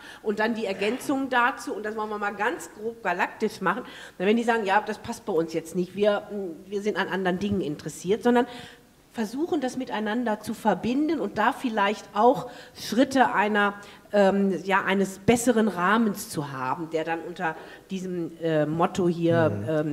ähm, äh, Völkerrecht des Netzes, also ein besserer digitaler Ordnungsrahmen, der Beteiligten ein bisschen mehr Rechte gibt, dass es sich in diese Richtung bewegt. Mhm. Also ich bin da jetzt zum, eher bei einem kleinen Brötchen, aber Sie wollen am Ende ja ein Brötchen nee, in der Hand haben. Nein, es wäre ja wunderbar, wenn wir schon äh, vom Krümel zum Brötchen kämen oder zum kleinen Brötchen, das war so genau. eine kleine Brötchenbacken, das wäre mir schon recht, kein Problem. Aber ähm, wenn wir eine neue Technik haben, digitale Technik, dann habe ich eben gesagt, äh, vier Jahre haben alleine, äh, glaube ich, hat Europa an der äh, Datenschutzrichtlinie ähm, diskutiert und in Anführungsstrichen rumgebastelt. In der Zeit hat sich das Netz von 2.0, hätte ich beinahe auf 4.0 entwickelt. Das heißt also, auch wenn wir die gute Idee bringen, Völker, Völkerrecht des Internets, die Technik überholt uns doch immer wieder. Äh, wir sehen das in anderen Bereichen. Natürlich, äh, wenn ich mich als Autofahrer in den Verkehr begebe, kann ich drin umkommen. Das heißt, ich akzeptiere aber einen Teil dessen und muss ich das nicht auch äh, im Internet und zwar weltweit. Es heißt immer, ich habe nichts zu verbergen, da kann auch jeder nachgucken. Aber wenn eine neue Technik da ist, müssen wir nicht auch überlegen, damit müssen wir Menschen in einem gewissen Teil auch negativ leben, ohne dass wir uns dagegen schützen können. Ja, natürlich gibt es immer Abwägungsentscheidungen. Diese Abwägungsentscheidungen treffen wir alle tagtäglich. Ich meine, äh, ich habe meine GPS-Daten auch nicht ausgestellt, weil ich natürlich hier pünktlich erscheinen wollte. Also diese Abwägungsentscheidung, die steht uns auch frei zu treffen. Ich möchte auch ein paar Krümel beitragen, wenn ich das darf. Also erstmal. Daraus äh, setzen sich ja Brötchen zusammen. Nicht wahr? Ne? Vielleicht ja. können wir gemeinsam backen. Also ähm, also erstens denke ich, äh, und ich habe das ja schon in meinem Vortrag gesagt, es gibt vielen Grund zu Optimismus, weil das Regelwerk, was nach dem Zweiten Weltkrieg aufgebaut wurde, ein, einen wirklich positiven Beitrag äh, leistet. Und unter den bestehenden Regelungen können wir eben auch äh, ähm, Probleme im digitalen Feld, was die, den Schutz der Privatsphäre angeht, ansprechen. Das heißt, ein ganz praktischer Schritt wäre, es zur Norm zu machen, innerhalb von der UNO immer wieder zu kommentieren, wie andere Staaten ähm, äh, mit Daten im Internet umgehen. Das sehen die Menschenrechtsverträge vor. Wenn ein Staat einen Menschenrechtsvertrag unterzeichnet, ist das die Einladung an andere Staatenvertreter, die Überprüfung dieses, dieser, dieser Pakte ähm, durchzuführen und zu kommentieren. Das heißt, das können wir tun und natürlich leider nur bei den Ländern, die diese Pakte äh, ratifiziert haben. China hat das mit dem Zivilpakt zum Beispiel nicht, nicht getan und Sie wissen auch, warum sie äh, das nicht tun. Früher haben Staaten äh, Menschenrechtspakte ratifiziert, weil sie dachten, ähnlich wie im Prozess der OSZE mit der Helsinki-Akte, ja, ja, das sind äh, so ein paar äh, warme Worte, das ist Papier, das ist nicht so wichtig. Und dann haben sie aber gemerkt, welche politische Macht diese Verträge doch entfalten. Und insofern überlegen sich das Staaten heute sehr genau, ob sie den Zivilpakt nur noch ratifizieren oder nicht. Aber wenn sie es getan haben, sollten wir es zur Praxis äh, machen, einfach auch äh, den Umgang mit digitalen Informationen immer wieder in den bestehenden UN-Foren zu diskutieren. Ich denke auch, dass die Zivilgesellschaft mittlerweile ganz interessante ähm, Schritte unternimmt, indem sie versucht, und das ist eher politische Rhetorik, also als ein ernst gemeinter Versuch, hier neue Verträge zu zu äh, ähm, verhandeln, zum Beispiel versucht, äh, von dem Recht auf Verschlüsselung zu sprechen. Ja, das kristallisiert einen Punkt, einen auch technischen Punkt, in einer Form, der die öffentliche Debatte, finde ich, sehr bereichert. Ob man nun daraus wirklich einen Vertrag macht, ähm, also ich würde äh, das äh, nicht empfehlen, aber ich will damit sagen... Da muss ja die Hintertür auch geregelt Ja, aber es gibt Möglichkeiten, über die äh, öffentliche Debatte da, sage ich mal, Schritt für Schritt mit der Technik mitzugehen. Letztendlich, und das ist einfach im politischen Geschäft so, letztendlich werden die eigentlichen Regeln auf nationaler Ebene gemacht. In ganz seltenen Fällen, wie eben in der Europäischen Union, gibt es da auch äh, regionale Verbände. Aber letztlich muss das national umgesetzt, interpretiert werden, ähm, vor die Gerichte gebracht werden etc. Und da werden die Regeln immer ein bisschen hinter der Technik hinterherrennen. Ähm, in diesen Graufeldern sollte jeder Einzelne informiert sein, was ja. das Handeln für Folgen hat und dann eigene Entscheidungen treffen. Und ich der denke, Technik ist es immer wie bei den Anti-Anti-Anti-Raketen. Der eine entwickelt was und der andere entwickelt immer was dagegen. Herr Link, äh, Herzlichen Dank. Die kommen mir schon sehr entgegen, dass wir jetzt erstmal sozusagen den Step anfangen, national und dann weiter marschieren. Denn Professor Kirchhoff hat das ja auch gesagt. Er hat gesagt, die großen Internetkonzerne wollen ja von uns was. Die kommen ja hier rein und er hat auch mal in einem Aufsatz geschrieben, warum können wir eigentlich nicht das normale Zivilrecht auch aufs Internet übertragen, wenn die von uns was wollen? Das, die sind doch hier und die müssen sich dann an die Regeln dieses Staates halten. Sonst äh, kommen sie nicht mehr rein. Punkt aus, Feierabend. Das ist mit diesen europäischen Regelungen ja. jetzt ab 2018 gemacht worden und verbunden mit Sanktionen. Das halte ich auch noch für einen wichtigen Aspekt. Ich meine, die Amerikaner beim Abgas, wie auch immer, und auch wenn es Banken oder sonstigen geht, man macht den Banken und den Konzernen vorwerfen, was man will. Aber eines muss man doch konstatieren. Da sind die Amerikaner mit Sanktionen auch sehr bei der Sache. Jetzt reden sie schon davon, wenn die Datenschutzgrundverordnung kommt, äh, Europa macht einen Feldzug gegen unsere Internetkonzerne. Ich rede jetzt nicht von der Steuer, sondern dann, wenn es auch um Datenschutzstandards geht. Nein, überhaupt nicht. Da muss man sich an Regeln halten und diese Regeln müssen auch gekannt werden. Und ich glaube, dass man Mechanismen braucht, wo man auch leicht als Nutzer mit solchen Regeln umgeht, weil man ja auch selbst was machen muss. Es nützt nichts, das nur in, ähm, äh, sagen mal, Pakten und in, in Gesetzen zu haben. Und da finde ich, das, was jetzt in diesen auch europäischen Standards kommt, viel mehr Zertifizierung ermöglichen, Unternehmen Anreize geben, dass sie selbst sagen, wir wollen datenschutzfreundlich sein, auch in unserer Technik. Dass eben gar nicht, ich nicht mehr weiß, wie gehe ich mit dem Cookie um, sondern ich erst gefragt werde, wollt ihr denn, dass da ein Cookie gesetzt wird oder nicht? Und dann kann ich sagen, nee, will ich gar nicht. Und ich muss nicht mühsam Weg finden, dass ich mich irgendwie davon befreie. Also ganz viele Dinge. Und dass ich das auch noch mit Symbolen darstelle. Also grün, super europäische Standards, ähm, Datenschutzstandards. Gelb, ganz ordentlich. Rot, naja, macht nochmal gerade das, was vielleicht so zwingend geboten ist. Also, dass der Nutzer auch viel leichter mit dem, was eine Verbesserung sein soll, im täglichen Leben umgehen kann. So, das macht es dann auch ein bisschen greifbar. Und ich denke, in die Richtung zu gehen, dann auch mit anderen Dingen, das ist ja, von der unteren Ebene nach oben, das glaube ich ist etwas, wo schon noch mehr passieren ja. wird, als wir derzeit haben. Ja, danke schön. Die Farben waren jetzt wertneutral gemeint, Herr Link. Äh, Sie haben äh, ja diese internationale Erfahrung. Und wenn ich das jetzt, äh, ich will das nicht äh, interpretieren, aber wenn ich so richtig sehe, mh, Frau Leuthers hat mir da auch ein bisschen recht gegeben. Ich gehe nochmal auf Herrn Kirchhoff zurück wir könnten eigentlich mehr erreichen, wenn wir den wirtschaftlichen Druck erhöhen. Über die Wirtschaft lässt sich, so habe ich das rausgehört, eigentlich, äh, wenn denn die Politiker da mitmachen, eigentlich am meisten erreichen. Und äh, weil über das Geld reagieren die Leute, es sei, sei es über Sanktionen, äh, die neue Datenschutzverordnung sieht 4% des Jahresumsatzes vor. Wenn äh, Mercedes mal was Falsches machen würde, das könnte die Millionenbeträge kosten. Äh, auch, wenn, Google auch, Google und Facebook, natürlich, eben. Nicht? Also da ziehen wir jetzt mit den Amerikanern äh, etwas mal ein bisschen gleich, äh, Gott sei Dank. Aber auf Ihre internationale Erfahrung nochmal zurück. Äh, manche würden das, Sie werden es mir verzeihen, nennen, da wird ja viel gelabert auf diesen Dingen. Können wir dieses Labern, wenn man den Ansatzpunkt mal richtig nimmt, sagen, Labern ist gar nicht schlecht, reden muss man immer, aber wir müssen tatsächlich auf internationaler Ebene wirtschaftsrechtlich was ansetzen. Und gibt es da aus Ihrer Sicht Ansatzpunkte, aus Ihrer Erfahrung einfach, von der wir hier profitieren wollen? Sie kommen ja viel rum, Sie sehen es auch vor allem in den osteuropäischen Ländern. Gibt es da Ansatzpunkte, um die Leute mit ins Boot, wiederum auf unser Thema zurückzukommen, ins, Völker, äh, äh ins Völkerboot oder Völkerrechtsboot zu bekommen und da den, die Schrauben bei dem Unternehmen aus Baden-Württemberg ein bisschen anzuziehen? Ja, der, natürlich ist das ein, ein, ein unglaublich starkes Instrument, äh, attraktive Rahmenbedingungen in einem äh, nationalen Markt zu schaffen. Ähm, Polen wäre heute nicht dort wirtschaftlich, wenn es eben nicht rechtsstaatliche Reformen konsequent gemacht hätte in den 90er Jahren Hier ist leider die Ausnahme von der Regel. Frau Kinzelbach sagt international Verbesserung der Menschenrechte im Durchschnitt, ja. Wir haben leider in der EU andere Beispiele, wo es in die falsche Richtung geht, auch in der OECD, leider, leider. Aber ähm, in der Tat, diese Rahmenbedingungen sind wichtig und Sie sind einerseits wichtig natürlich, um die geeigneten in, in, in Investitionen anzuziehen. Kein Mensch geht äh, irgendwo hin, wo er nicht Kontrolle über seine Investitionen hat. Leider äh, gibt es immer wieder einige wenige Unternehmen, die dann scheinbar für alle sprechen, die dann mit einem speziellen Deal in ein spezielles Land gehen, dort auch enormen Schnitt machen, aber natürlich äh, gefährliche Kompromisse dafür eingehen, weshalb sie natürlich dann auch im Falle von Wirtschaftssanktionen auch die Konsequenzen zu tragen haben.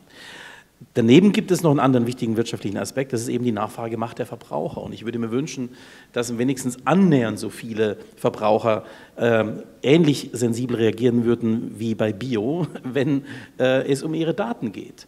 Ähm, jeder ist mittlerweile, fast jeder ist sensibel, was Bio angeht. Oder äh, besonders, etwas, was mir besonders gefällt, eben auch der Ansatz, regional auch zu kaufen. Aber äh, wo ist die gleiche Sensibilität bei Daten? Meine Daten. Ja? Das Bewusstsein, dass es meine Daten sind. Ja, und das wäre schon viel gewonnen. Ja. Und letzter Punkt, äh, vergessen wir nicht, äh, in dem Bereich, ähm, Dritte können es nutzen bei konkreten Dingen und damit entfalten sie tatsächlich eine Wirkung. Mhm. Und so kann indirekt, nicht über Gerichte und nicht über Sanktionen, aber indirekt tatsächlich eine konkrete Folge von Menschenrechtsverletzungen mhm. dann auch wirklich geahndet werden. Und Serbien musste in der Tat massiv nachbessern und hat, ja. wie Sie wissen, bis zum heutigen Tag auch das Kapitel Justiz und äh, Verwaltung und, ja. und, Recht natürlich bei weitem noch nicht äh, erfüllt. Ja, danke schön. Meine letzte Frage auf dem Podium an Sie, Herr Spohr. Sie gehören ja mit Frau Kinzelbach hier auf diesem Podium zur digitalen Jugend. Ähm, von Ihrem Aufgabenfeld, das Sie jetzt beackern bei der Stiftung, äh, wie sehen Sie die Zukunft aus Ihren Erfahrungen, die Sie bisher gemacht haben? Und äh, in welche Richtung würden Sie arbeiten? Was würden Sie sich vorstellen, wie es in Zukunft aus Ihrer Sicht weitergeht? Ansatzpunkte, äh, Krümel, bleiben mild zu bleiben, für das Brötchen zu backen. Was wären Ihre Wünsche, was wären Ihre Ideen? Sie werden noch sicher lange mit diesem Thema zu tun haben. Wenn Sie einfach mal spinnen, was könnte zum Schluss oder was wäre für Sie ein Ergebnis, das Sie gerne hätten? Äh, ja, also ganz herzlichen Dank, Annik. Ich hatte, das brannte mir auch schon so ein bisschen äh, unter den Nägeln, der Hinweis auf den Verbraucher, weil mit der Naumann Stiftung haben wir jetzt auch eine Veranstaltungsreihe zum Thema Wirtschaft und Menschenrechte. Und wir saßen gerade erst vor zwei Wochen mit Herrn Dr. Merck von der Otto-Gruppe, einem CSA-Chef, da zusammen. Und der sagte da dann ganz trocken in hanseatischer Art, also das ist ein Unternehmen, das hat 2,3 Milliarden Umsatz, das, die wissen wirklich, was der Verbraucher so tut. Und es gibt keinen Markt für menschenrechtlich produzierte Waren. Es gibt ein paar Nischen und so weiter. Also das geht an uns alle und ähnlich ist es eben auch genau, wie Sie sagen, mit den, mit den Daten. Und wenn ich jetzt ein bisschen als Digital Native sozusagen sprechen darf, äh, mich hier sozusagen als Vertreter der Jugend aufzuschwingen, was, was ich mir wünsche und was vielleicht ein Gedanke ist, ähm, es gibt noch nicht, also zumindest vor allem bei den Freunden aus dem Bekanntenkreis des angelsächsischen Raums, gab es nie dieses, diese, dieses Empfinden dafür. Also ich hatte, wir hatten immer das Problem, dass ich bin immer ausgelacht worden die letzten zehn Jahre, dass ich nie ein richtiges Foto bei Facebook drin habe. Und das ist vielleicht auch eine, eine Erfahrung aus unserer Geschichte hier mit, mit zwei Regimen, mit der, wo es einfach noch zumindest Elterngenerationen gibt, die wissen, was das heißt, wenn man in einem Überwachungsstaat lebt. Und diese Erfahrung gibt es seltener. Man lernt es in der Schule, ich weiß nicht, da könnten jetzt am besten die, die Schüler, die hier sind, irgendwie vielleicht noch was dazu sagen. Ich glaube, da muss man viel, viel machen und das nicht wieder so für selbstverständlich nehmen. Also wie kriegen wir das in die Gesellschaft rein? Da muss man natürlich kreative Politiker auch befragen. also das, was Frau Ginzelbach gesagt hat, heute geht digital mit einem Druck, was die Stasi in äh, 40 ja, Jahren nicht genau. geschafft hat, den Staat umzukrempeln. Ich habe immer das Problem, wenn ich sozusagen, ich werde ja nun auch im privaten und in meinem privaten Umfeld als Menschenrechtler irgendwo wahrgenommen und wenn ich dann immer das versuche, den Leuten klarzumachen, dann fehlen einem auch immer also ein bisschen die, die Argumente. Ja? Wenn ihr sagt, ich habe doch nichts zu verbergen, das Berühmte. Ne? Also da kreativ zu werden, dass die Leute noch mehr zu dem berühmten mündigen Verbraucher werden, der, den der Europäische Gerichtshof bestimmt. Kann es nur noch kurze Nachfrage so sein, weil es nichts Greifbares gibt für die Leute, wie auch der vom Otto äh, Verlag, hätte ich beinahe gesagt, ja. nein, gesagt hat, äh, es gibt keinen Markt dafür. Ja, es gibt immer einen Markt, aber man muss es den Leuten auch noch also verständlicher machen. Warum muss ich denn jetzt so vorsichtig sein? Ich habe doch nichts zu verbergen. Warum denn? Da, da, bleiben wir vielleicht auch als Experten, weil wir sind uns ja immer schön eilig. Wir wissen das ja, ja alles. Ne? Was, wie kommen wir darüber? Und ich finde auch, da müsste viel. Nee, wir sind uns nicht einig, Frau Peter schon. Also zumindest, zumindest sind wir uns Ja. äh, in den Grundwerten einig, dass wir vorsichtig sind oder eigentlich, wenn wir können, dann die GPS-Daten ausmachen. Aber da, dass Ja, aber wir. das macht ja nicht mal Frau Kinzelmeier äh, GPS-Daten aber aus. dann ist- Aber wenn ich in China machen, bin, ne? schon. Also ich mache halt einen Unterschied zwischen Deutschland Ja, und bei anderen China Ländern. muss man sich dran gewöhnen. Als ich das letzte Mal da war, ich hatte mich ganz normal als Tourist angemeldet, kriegte ich meinen äh, Pass mit dem Ding drin. Dies ist ein äh, touristisches Visum und Sie haben keine journalistischen Aufgaben zu erfüllen. Habe ich mich gefragt, woher wissen die das? Ich habe mich ganz normal angemeldet. Also, äh, also gut. Also Aber- vielleicht ein, ja, genau. also vielleicht ein, ein, ein letztes Wort, wenn Sie mir schon hier Ja, das ich bitte zuteil gern. haben. Also ich, ich finde, dass wir es vielleicht wirklich auch gerade, das ist jetzt vielleicht ganz an, an meine eigene Generation gerichtet, dass wir das wieder mehr auch als, also mehr Stolz entwickeln, was wir da erreicht haben, wo diese Werte herkommen, so, äh, was es für Erfahrungen gibt, was das eigentlich ist, was der Wert darin ist. Ich meine, es gibt viel in der Schule, die Schüler werden es bestätigen können, das wird rauf und runter genudelt und so weiter. Aber dass wir das wieder innovativer äh, rüberbringen und da eben auch, auch diese, dieses Feuer vielleicht sogar entwickeln, gerade in der Situation, in der wir politisch generell sind, mit dem Rechtspopulismus, der im Übrigen als das große Problem für den gesamten Menschenrechtsbereich die nächsten Jahre sein wird. Also dass wir da wirklich einen Stolz und auch eben das politische Feuer wieder Ja. entwickeln und die Kann mehr sein, junge Leute Sie auch angesprochen haben, wir haben nicht, oder die jungen Leute haben nicht die Erfahrung, die äh, wir Älteren auch mit der DDR gemacht haben, wo wir das noch gesehen haben. Äh, Die Nazi-Zeit davor ist noch weiter weg. Wir kriegen das zwar alles heute immer per Bildschirm mit und über Facebook, wie schlimm das ist und die Bilder, ich sprach Syrien an, aber äh, Menschenrechte, Frau Leuter, das Also ich glaube, Sie hatten vorhin so ein Wort gebraucht, das ist nicht richtig greifbar. Ja. Und ich glaube, das ist schon ein wichtiger Aspekt, wenn mh, mal jemand erlebt hat, ähm, dass aufgrund von bestimmten Informationen im Netz frei zugänglich einem etwas verwehrt wurde. Entweder in meiner Jobvorstellung hat öffentlich kriegt keinen zugängliche von Schufa, keinen Kredit. Dann haben die gesagt, also was sie damals und wie sie da an dem Brunnen abends da Bier getrunken haben, nee, zwar vor jungen Jahren, aber wir haben andere Bewerber, da ist das dreimal besser. Oder sie kriegen bei der Schufa keinen Kredit. Oder sie werden sicherheitsüberprüft für ganz bestimmte Tätigkeiten, bekommen nicht gesagt, aber es wird eben ihnen ein Negativattest äh, ausgestellt. Sie wissen nicht warum. Das heißt, überall können ja gerade diese nun sehr vorhandenen und auch zugänglichen Informationen verwandt werden. Und ich glaube, da wird es greifbar, aber wir wollen ja nicht, dass erstmal jemand Negativerfahrungen macht, um dann zu sagen, so jetzt weiß ich auch, dass ich also ganz bewusst mit meinen Daten umgehen muss. Von daher finde ich den Ansatz, den heute Morgen Herr Kirchhoff so ein bisschen sehr schnell weggewischt hat, nochmal sehr nachdenkenswert. Daten sind Macht. Das ist das Gut heute in, im digitalen Geschäft. Und Güter kosten was. Im Urheberrecht kann ich auch nicht kostenlos nutzen, die, die Produkte von anderen. Wie ich das mache im Netz, ist dann eine Sache, aber inzwischen haben wir mit Spotify und anderen, da bezahle ich einen Pauschalbetrag, da wird nicht mehr kostenlos ausgetauscht. Also das ist etwas, was einen auch materiellen neben dem immateriellen Wert hat. Warum soll das denn nicht mal stärker Eingang finden? Es gibt inzwischen Untersuchungen, Daten als Handelsware. Ich möchte jetzt nicht, dass das so ein normales Gut wird, nach dem Motto, wunderbar, ich zocke da ein bisschen und dann gebe ich meine ganzen Daten preis, dann bin ich halt Objekt, aber im Moment habe ich ein bisschen was auf meinem Konto. Das möchte ich nicht, dass das in die Richtung geht. Aber dass da, wo Daten Grundlage sind für ganz viele Angebote und Entwicklungen, und diese Konzerne natürlich auch dreimal in der Lage sind, was zu zahlen, weil bei denen subsumiert sich ja nochmal dann Umsatz und eben auch Gewinn mit diesen Daten. Das ist ja nun nicht so, dass die dann, äh, sag ich mal, ähm, in, in, äh, als soziales Wohlfahrtsunternehmen sich da selbst verstehen, sondern es geht um dreistellige Milliarden teilweise, mindestens mal zwei. Und da stärker mal zu überlegen, wie kann ich diesen Daten auch mal einen anderen Wert geben, auch einen Teil materiellen Wert, auch wenn ich meine Persönlichkeitsrechte natürlich nicht veräußere, aber einen stärkeren materiellen Wert.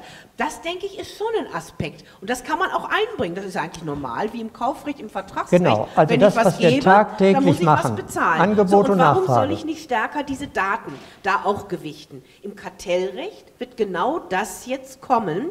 Kartellrecht muss geändert werden, weil die Konzerne nicht so sehr auch daran bewertet werden, marktbeherrschende Stellung, wie ist das mit Fusion, wie sie Daten verwenden. Also Daten sind bisher nicht so ein, eben, eben so ein Faktor, ein gewichtiger, finanziell bewerteter Faktor. Das muss geändert werden, weil das macht ja gerade viele Konzerne aus. Und ich denke, so dieser Gedanke, da muss man sich natürlich über Ausgestaltung überlegen. Das darf wiederum ja nicht exkludieren, dass nur die, die viel Geld haben, sich beteiligen können am digitalen Leben und andere, die nicht, also das, da muss ja. man natürlich genau schauen, aber dass generell die Daten ein Gegenwert sind ja. und jeder Bürger dann da auch was von hat und sich bewusst macht, wenn ich das jetzt preisgebe, ich bekomme zwar was dafür, aber das ist ein wichtiges Gut. Also muss mich das doch sensibilisieren. Also ich denke mal, in die Richtung auch zu denken, finde ich gut und das würde ich nicht so weglassen ja, wollen. Äh, das finde ich auch äh, jedenfalls für das Podium gutes Schlusswort, weil äh, vielleicht kann man es auch etwas salopp formulieren. Wir müssen endlich mal von der Mentalität weg, wie auch als Verbraucher alles auf lau haben zu wollen, auf lau haben zu wollen, gleichzeitig aber geschützt zu werden bis zum geht nicht mehr. Ich glaube, die Zeiten sind vorbei. Wir müssen da, Sie haben es angesprochen, Frau Leuthäuser-Schnarrenberger, was wir auch im realen Leben, im normalen Zivilrecht haben, Angebot und Nachfrage. Und als Verbraucher stellen wir uns immer auf die Hinterbeine, wo kriege ich noch etwas billiger, was kann ich da bezahlen. Aber das dürfte aus meiner Sicht für die Zukunft vorbei sein. Dieser Ansatz war ja, Sie erwähnen es auch von Professor Kirchhoff da. Und ich glaube, diesen Ansatz kann man auch von der wirtschaftlichen Macht, die ich ansprach, durchaus mit in das Gebiet nehmen, das wir probiert haben, ein bisschen zu beackern. Äh, zumindest haben wir das Brötchen jetzt mal auf dem Bäckertisch, das, das Mehl ist schon dran, wir müssen es jetzt noch ein bisschen rollen, aber dazu reicht die Zeit heute nicht mehr. Aber vielleicht kommen wir noch dazu, dass wir das Brötchen irgendwann anders backen und dann auch zusammen essen. Ich möchte mich erstmal hier bedanken auf dem Podium äh, für die Anregungen. Wir waren uns einig, auch am Anfang, als wir kurz mal darüber gesprochen haben, den großen Durchbruch auch für China kriegen wir heute nicht. Aber Frau Kinzelbach wird da weiter dran arbeiten, denn äh, wir essen immer nur Mandarinen. Sie kann das auf Mandarinisch, das alle, äh, Mandarin alles schön sagen. Das ist also wunderbar. Herzlichen Dank an Sie, dass Sie so mitgemacht haben zunächst.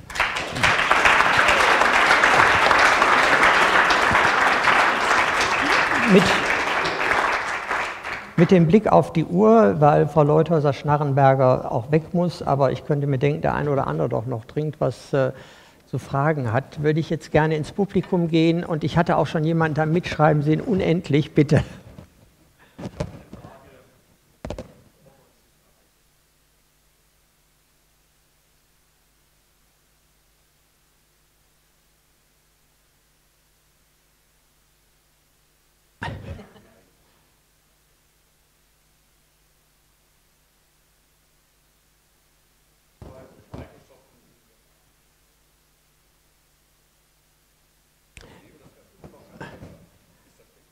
Ja, es ist, es ist also in der neuen äh, Datenschutzverordnung äh, der EU drin, dass die Auskunftsrechte sehr gestärkt werden. Aber wie wir auch heute Morgen gehört haben, ist äh, das Verlangen das eine und die Wirklichkeit, es durchzusetzen, dann das andere. Nicht? Das ist das Problem. Also der richtige Adressat. Also man hat dann dieses Recht, weil Auskunft, etwas erfahren können, ist die Voraussetzung dafür, Rechte wahrnehmen zu können.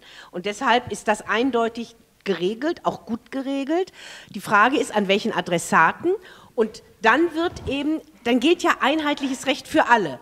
Für Facebook in Deutschland, in Irland, überall. Und Facebook ist auch mit Sitz in Amerika hier unterworfen, dem europäischen Recht. So, dann können die zwar noch ein bisschen rumzockern, dann haben aber die Datenschutzbeauftragten eine ganz andere Möglichkeit, weil dann wird am Ende Facebook mit der Adresse in Hamburg eben genau diese Auskunft erteilen müssen. Dann müssen sie sich die Infos eben im Zweifel vom amerikanischen Rechner besorgen. Aber sie können nicht mehr darauf verwiesen werden, dass sie irgendeine Zustelladresse in Amerika suchen und natürlich im Zweifel keine finden.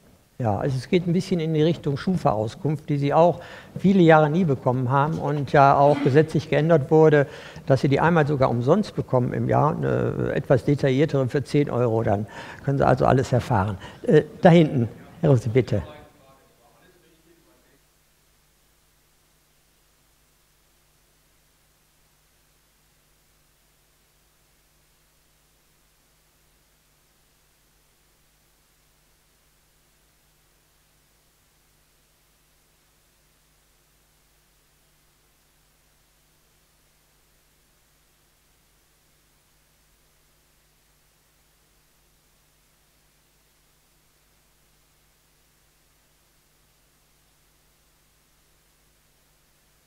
Vielleicht. Ja, vielleicht können wir gleich äh, die äh, Jugendlichen fragen, wie das aussieht. Da gab es ja schon eine Meldung. Und ja, bitte. Also, wer von Ihnen?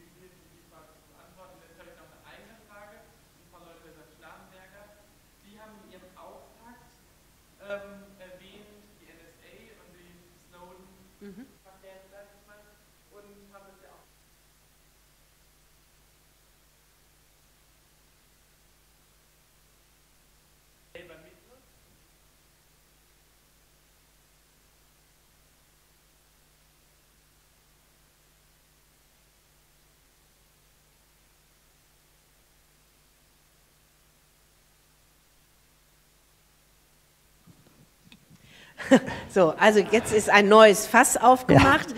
Das will ich jetzt aber nicht äh, noch ja. weiter öffnen.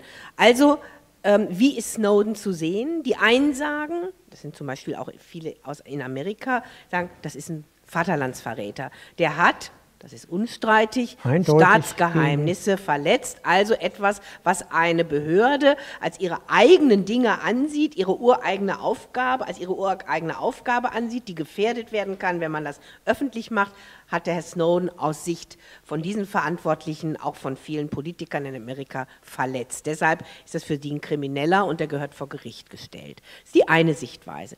Die andere Sichtweise ist die, dass man sagt, das ist doch eigentlich ein Whistleblower. Also der hat doch über ein gewisses Staatsversagen, nämlich mangelnde Kontrolle über das, was passiert. Ich will jetzt nicht über die amerikanische Rechtslage hier ein Urteil abgeben, aber wie das eben auch mit Daten von ähm, gerade Bürgern aus der Europäischen Union geht, aber auch mit Verantwortlichen eben in Brasilien, in Deutschland von Frau Merkel, von vielen anderen und wie die zugreifen auf Schnittstellen, Datenschnittstellen, Glasfaserkabeln, die in Deutschland sind, wo die meisten Daten rausgehen. Also auch auf deutschem Boden was passiert und das ist ja ein Staatsversagen und da ist auch in Deutschland, aber auch in vielen anderen Ländern das Verständnis, so ein sogenannter Whistleblower, der auf staatliche Defizite oder auf ja, ähm, eindeutige Fehler hinweist und die strukturell bedeutsam sind, den darf man doch nicht nur so wie einen vielleicht Kriminellen sehen, sondern für den sollten, ich sage jetzt mal ganz einfach, strafmildernde oder andere Gründe gelten. So, das ist so etwas, was ähm, in, im europäischen Raum in unterschiedlich Ausgestaltung ähm, gesehen wird. Politisch verfolgt ist natürlich noch mal eine andere Kategorie. Äh, zu sagen, jemand äh, der so etwas preisgibt, ist im eigenen Land, weil er dort nach Strafrechtsbestimmungen zur Verantwortung gezogen wird, politisch verfolgt. Ich würde mal sagen, ist ein schwieriges Thema. Deshalb fand ich das immer falsch, das immer so auf dieses Thema Asyl ähm, zu fokussieren. Die Frage ist, ob ein anderer Staat bereit ist, einen legalen Aufenthaltsstatus jemandem zu geben, nach normalen Aufenthaltsbestimmungen, weil der weiß ja auch ganz viel, vielleicht kann der auch bei uns im BND nochmal ein bisschen auf Zack bringen oder so, technisch, ähm, was Verschlüsselungsmöglichkeiten anderes angeht. Also könnten wir vielleicht auch von profitieren. Das wäre natürlich ein einfacherer Weg. Und dann letztes Wort dazu, darf man aber nicht außer Betracht lassen, was das an politischen Implikationen nach sich ziehen würde. Und als Politiker muss man das auch sehen. Da kann man nicht so tun, als würde dann Amerika nicht reagieren, ähm, die hier ein ganz anderes Interesse aus ihrer Sicht haben. Das führt am Ende dazu, angesichts dieser unterschiedlichsten Interessen, dass der Herr Snowden ähm, noch etwas in Russland bleiben wird. Ja, Wenn Sie mich fragen, ich fände es am allerbesten, man würde einen Weg finden, hinter den Kulissen zu verhandeln, auch mit äh, entsprechenden Stellen in Amerika, dass der nicht angeklagt wird und kriegt 66 oder 99 Jahre, sondern wenn das aus unserer Sicht kriegte der vielleicht, was weiß ich, sechs bis acht und dann kann man es runtersetzen und dann kommt schnell eine Bewährung und so, dass das jedenfalls sich auf einem Level bewegt. Man sagt, es ist nicht erlaubt, man bestraft es auch, aber in einem erträglichen Umfang, sodass Herr Snowden dann auch wirklich wieder eine Perspektive hätte, im eigenen Land zu leben. Ich glaube, da ist im Moment der Weg hin leider nicht eröffnet. Herr Snowden ist Amerikaner, aber äh, ich lasse Sie gleich noch zu. Wir wollen das fast in der Tat nicht aufmachen, sonst kommen wir noch zu den Steuer-CDs. Äh, bitte.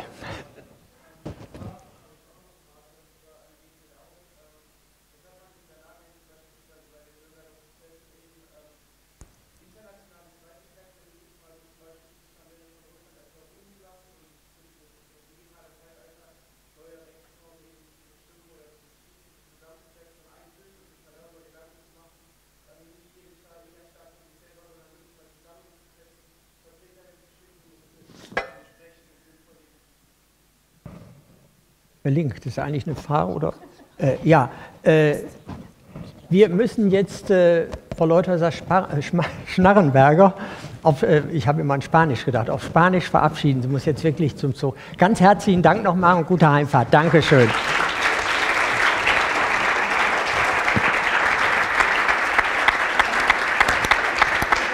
Und dass Sie es so lange mit uns ausgehalten haben. Gute Heimfahrt, aber die Frage soll noch beantwortet werden. Herr Link, könnten Sie dazu was das, sagen? Denn genau das müsste passieren, ja. Aber dazu, das habe ich doch die ganze Zeit jetzt schon müsste, probiert, sowas äh, dazu hinzukriegen. Müsste, dazu müsste, müssten Staaten auch mal bereit sein, natürlich dann auch unter Aufgabe ihrer bisherigen Positionen also Sie sagen ja ohne Vorbedingungen, sich mal hinzusetzen. Ja? Und äh, das ist dann natürlich schwierig. Ja?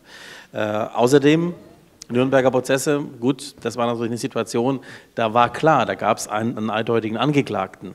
Äh, das ist ja jetzt hier nicht so der Fall. Allein schon dadurch würde man dann sich streiten. Übrigens, wenn Sie mir ein Wort zu Snowden gestatten, die Tatsache, dass er in Russland ausgerechnet sitzt, macht ihn nicht glaubwürdiger.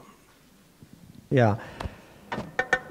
Wir sind in der Tat jetzt am Ende. Nee, ich muss jetzt auf äh, die Uhr schauen. Äh, das tut mir leid. wirklich irgendwann fällt das Fallbeil. Wir sind schon zehn Minuten drüber. Ich bitte um Nachsicht, denn ich muss jetzt oder möchte sehr gerne noch äh, das Schlusswort an den Vorsitzenden des Kuratoriums der Friedrich-Naumann-Stiftung für die Freiheit, Professor Dr. Jürgen Morlock, geben, der uns jetzt dann auch sicher in den Samstag entlässt. Ihnen nochmal herzlichen Dank äh, fürs Zuhören, nicht fürs, also auch fürs Zuschauen natürlich. Wenn ich es nicht schon gesagt habe, wünsche ich Ihnen eine gute Heimfahrt. Vielleicht sieht man sich ja wieder. Wir hatten den zwölften Verfassungsdialog und ich wollte eigentlich am Anfang schon sagen, sagt Ihnen die Zahl zwölf was. Herr Kirchhoff war da, zwölf Jahre Verfassungsdialog, Verfassungsrichter haben zwölf Jahre Amtszeit, dann ist Ende. Auch für uns heute. Danke.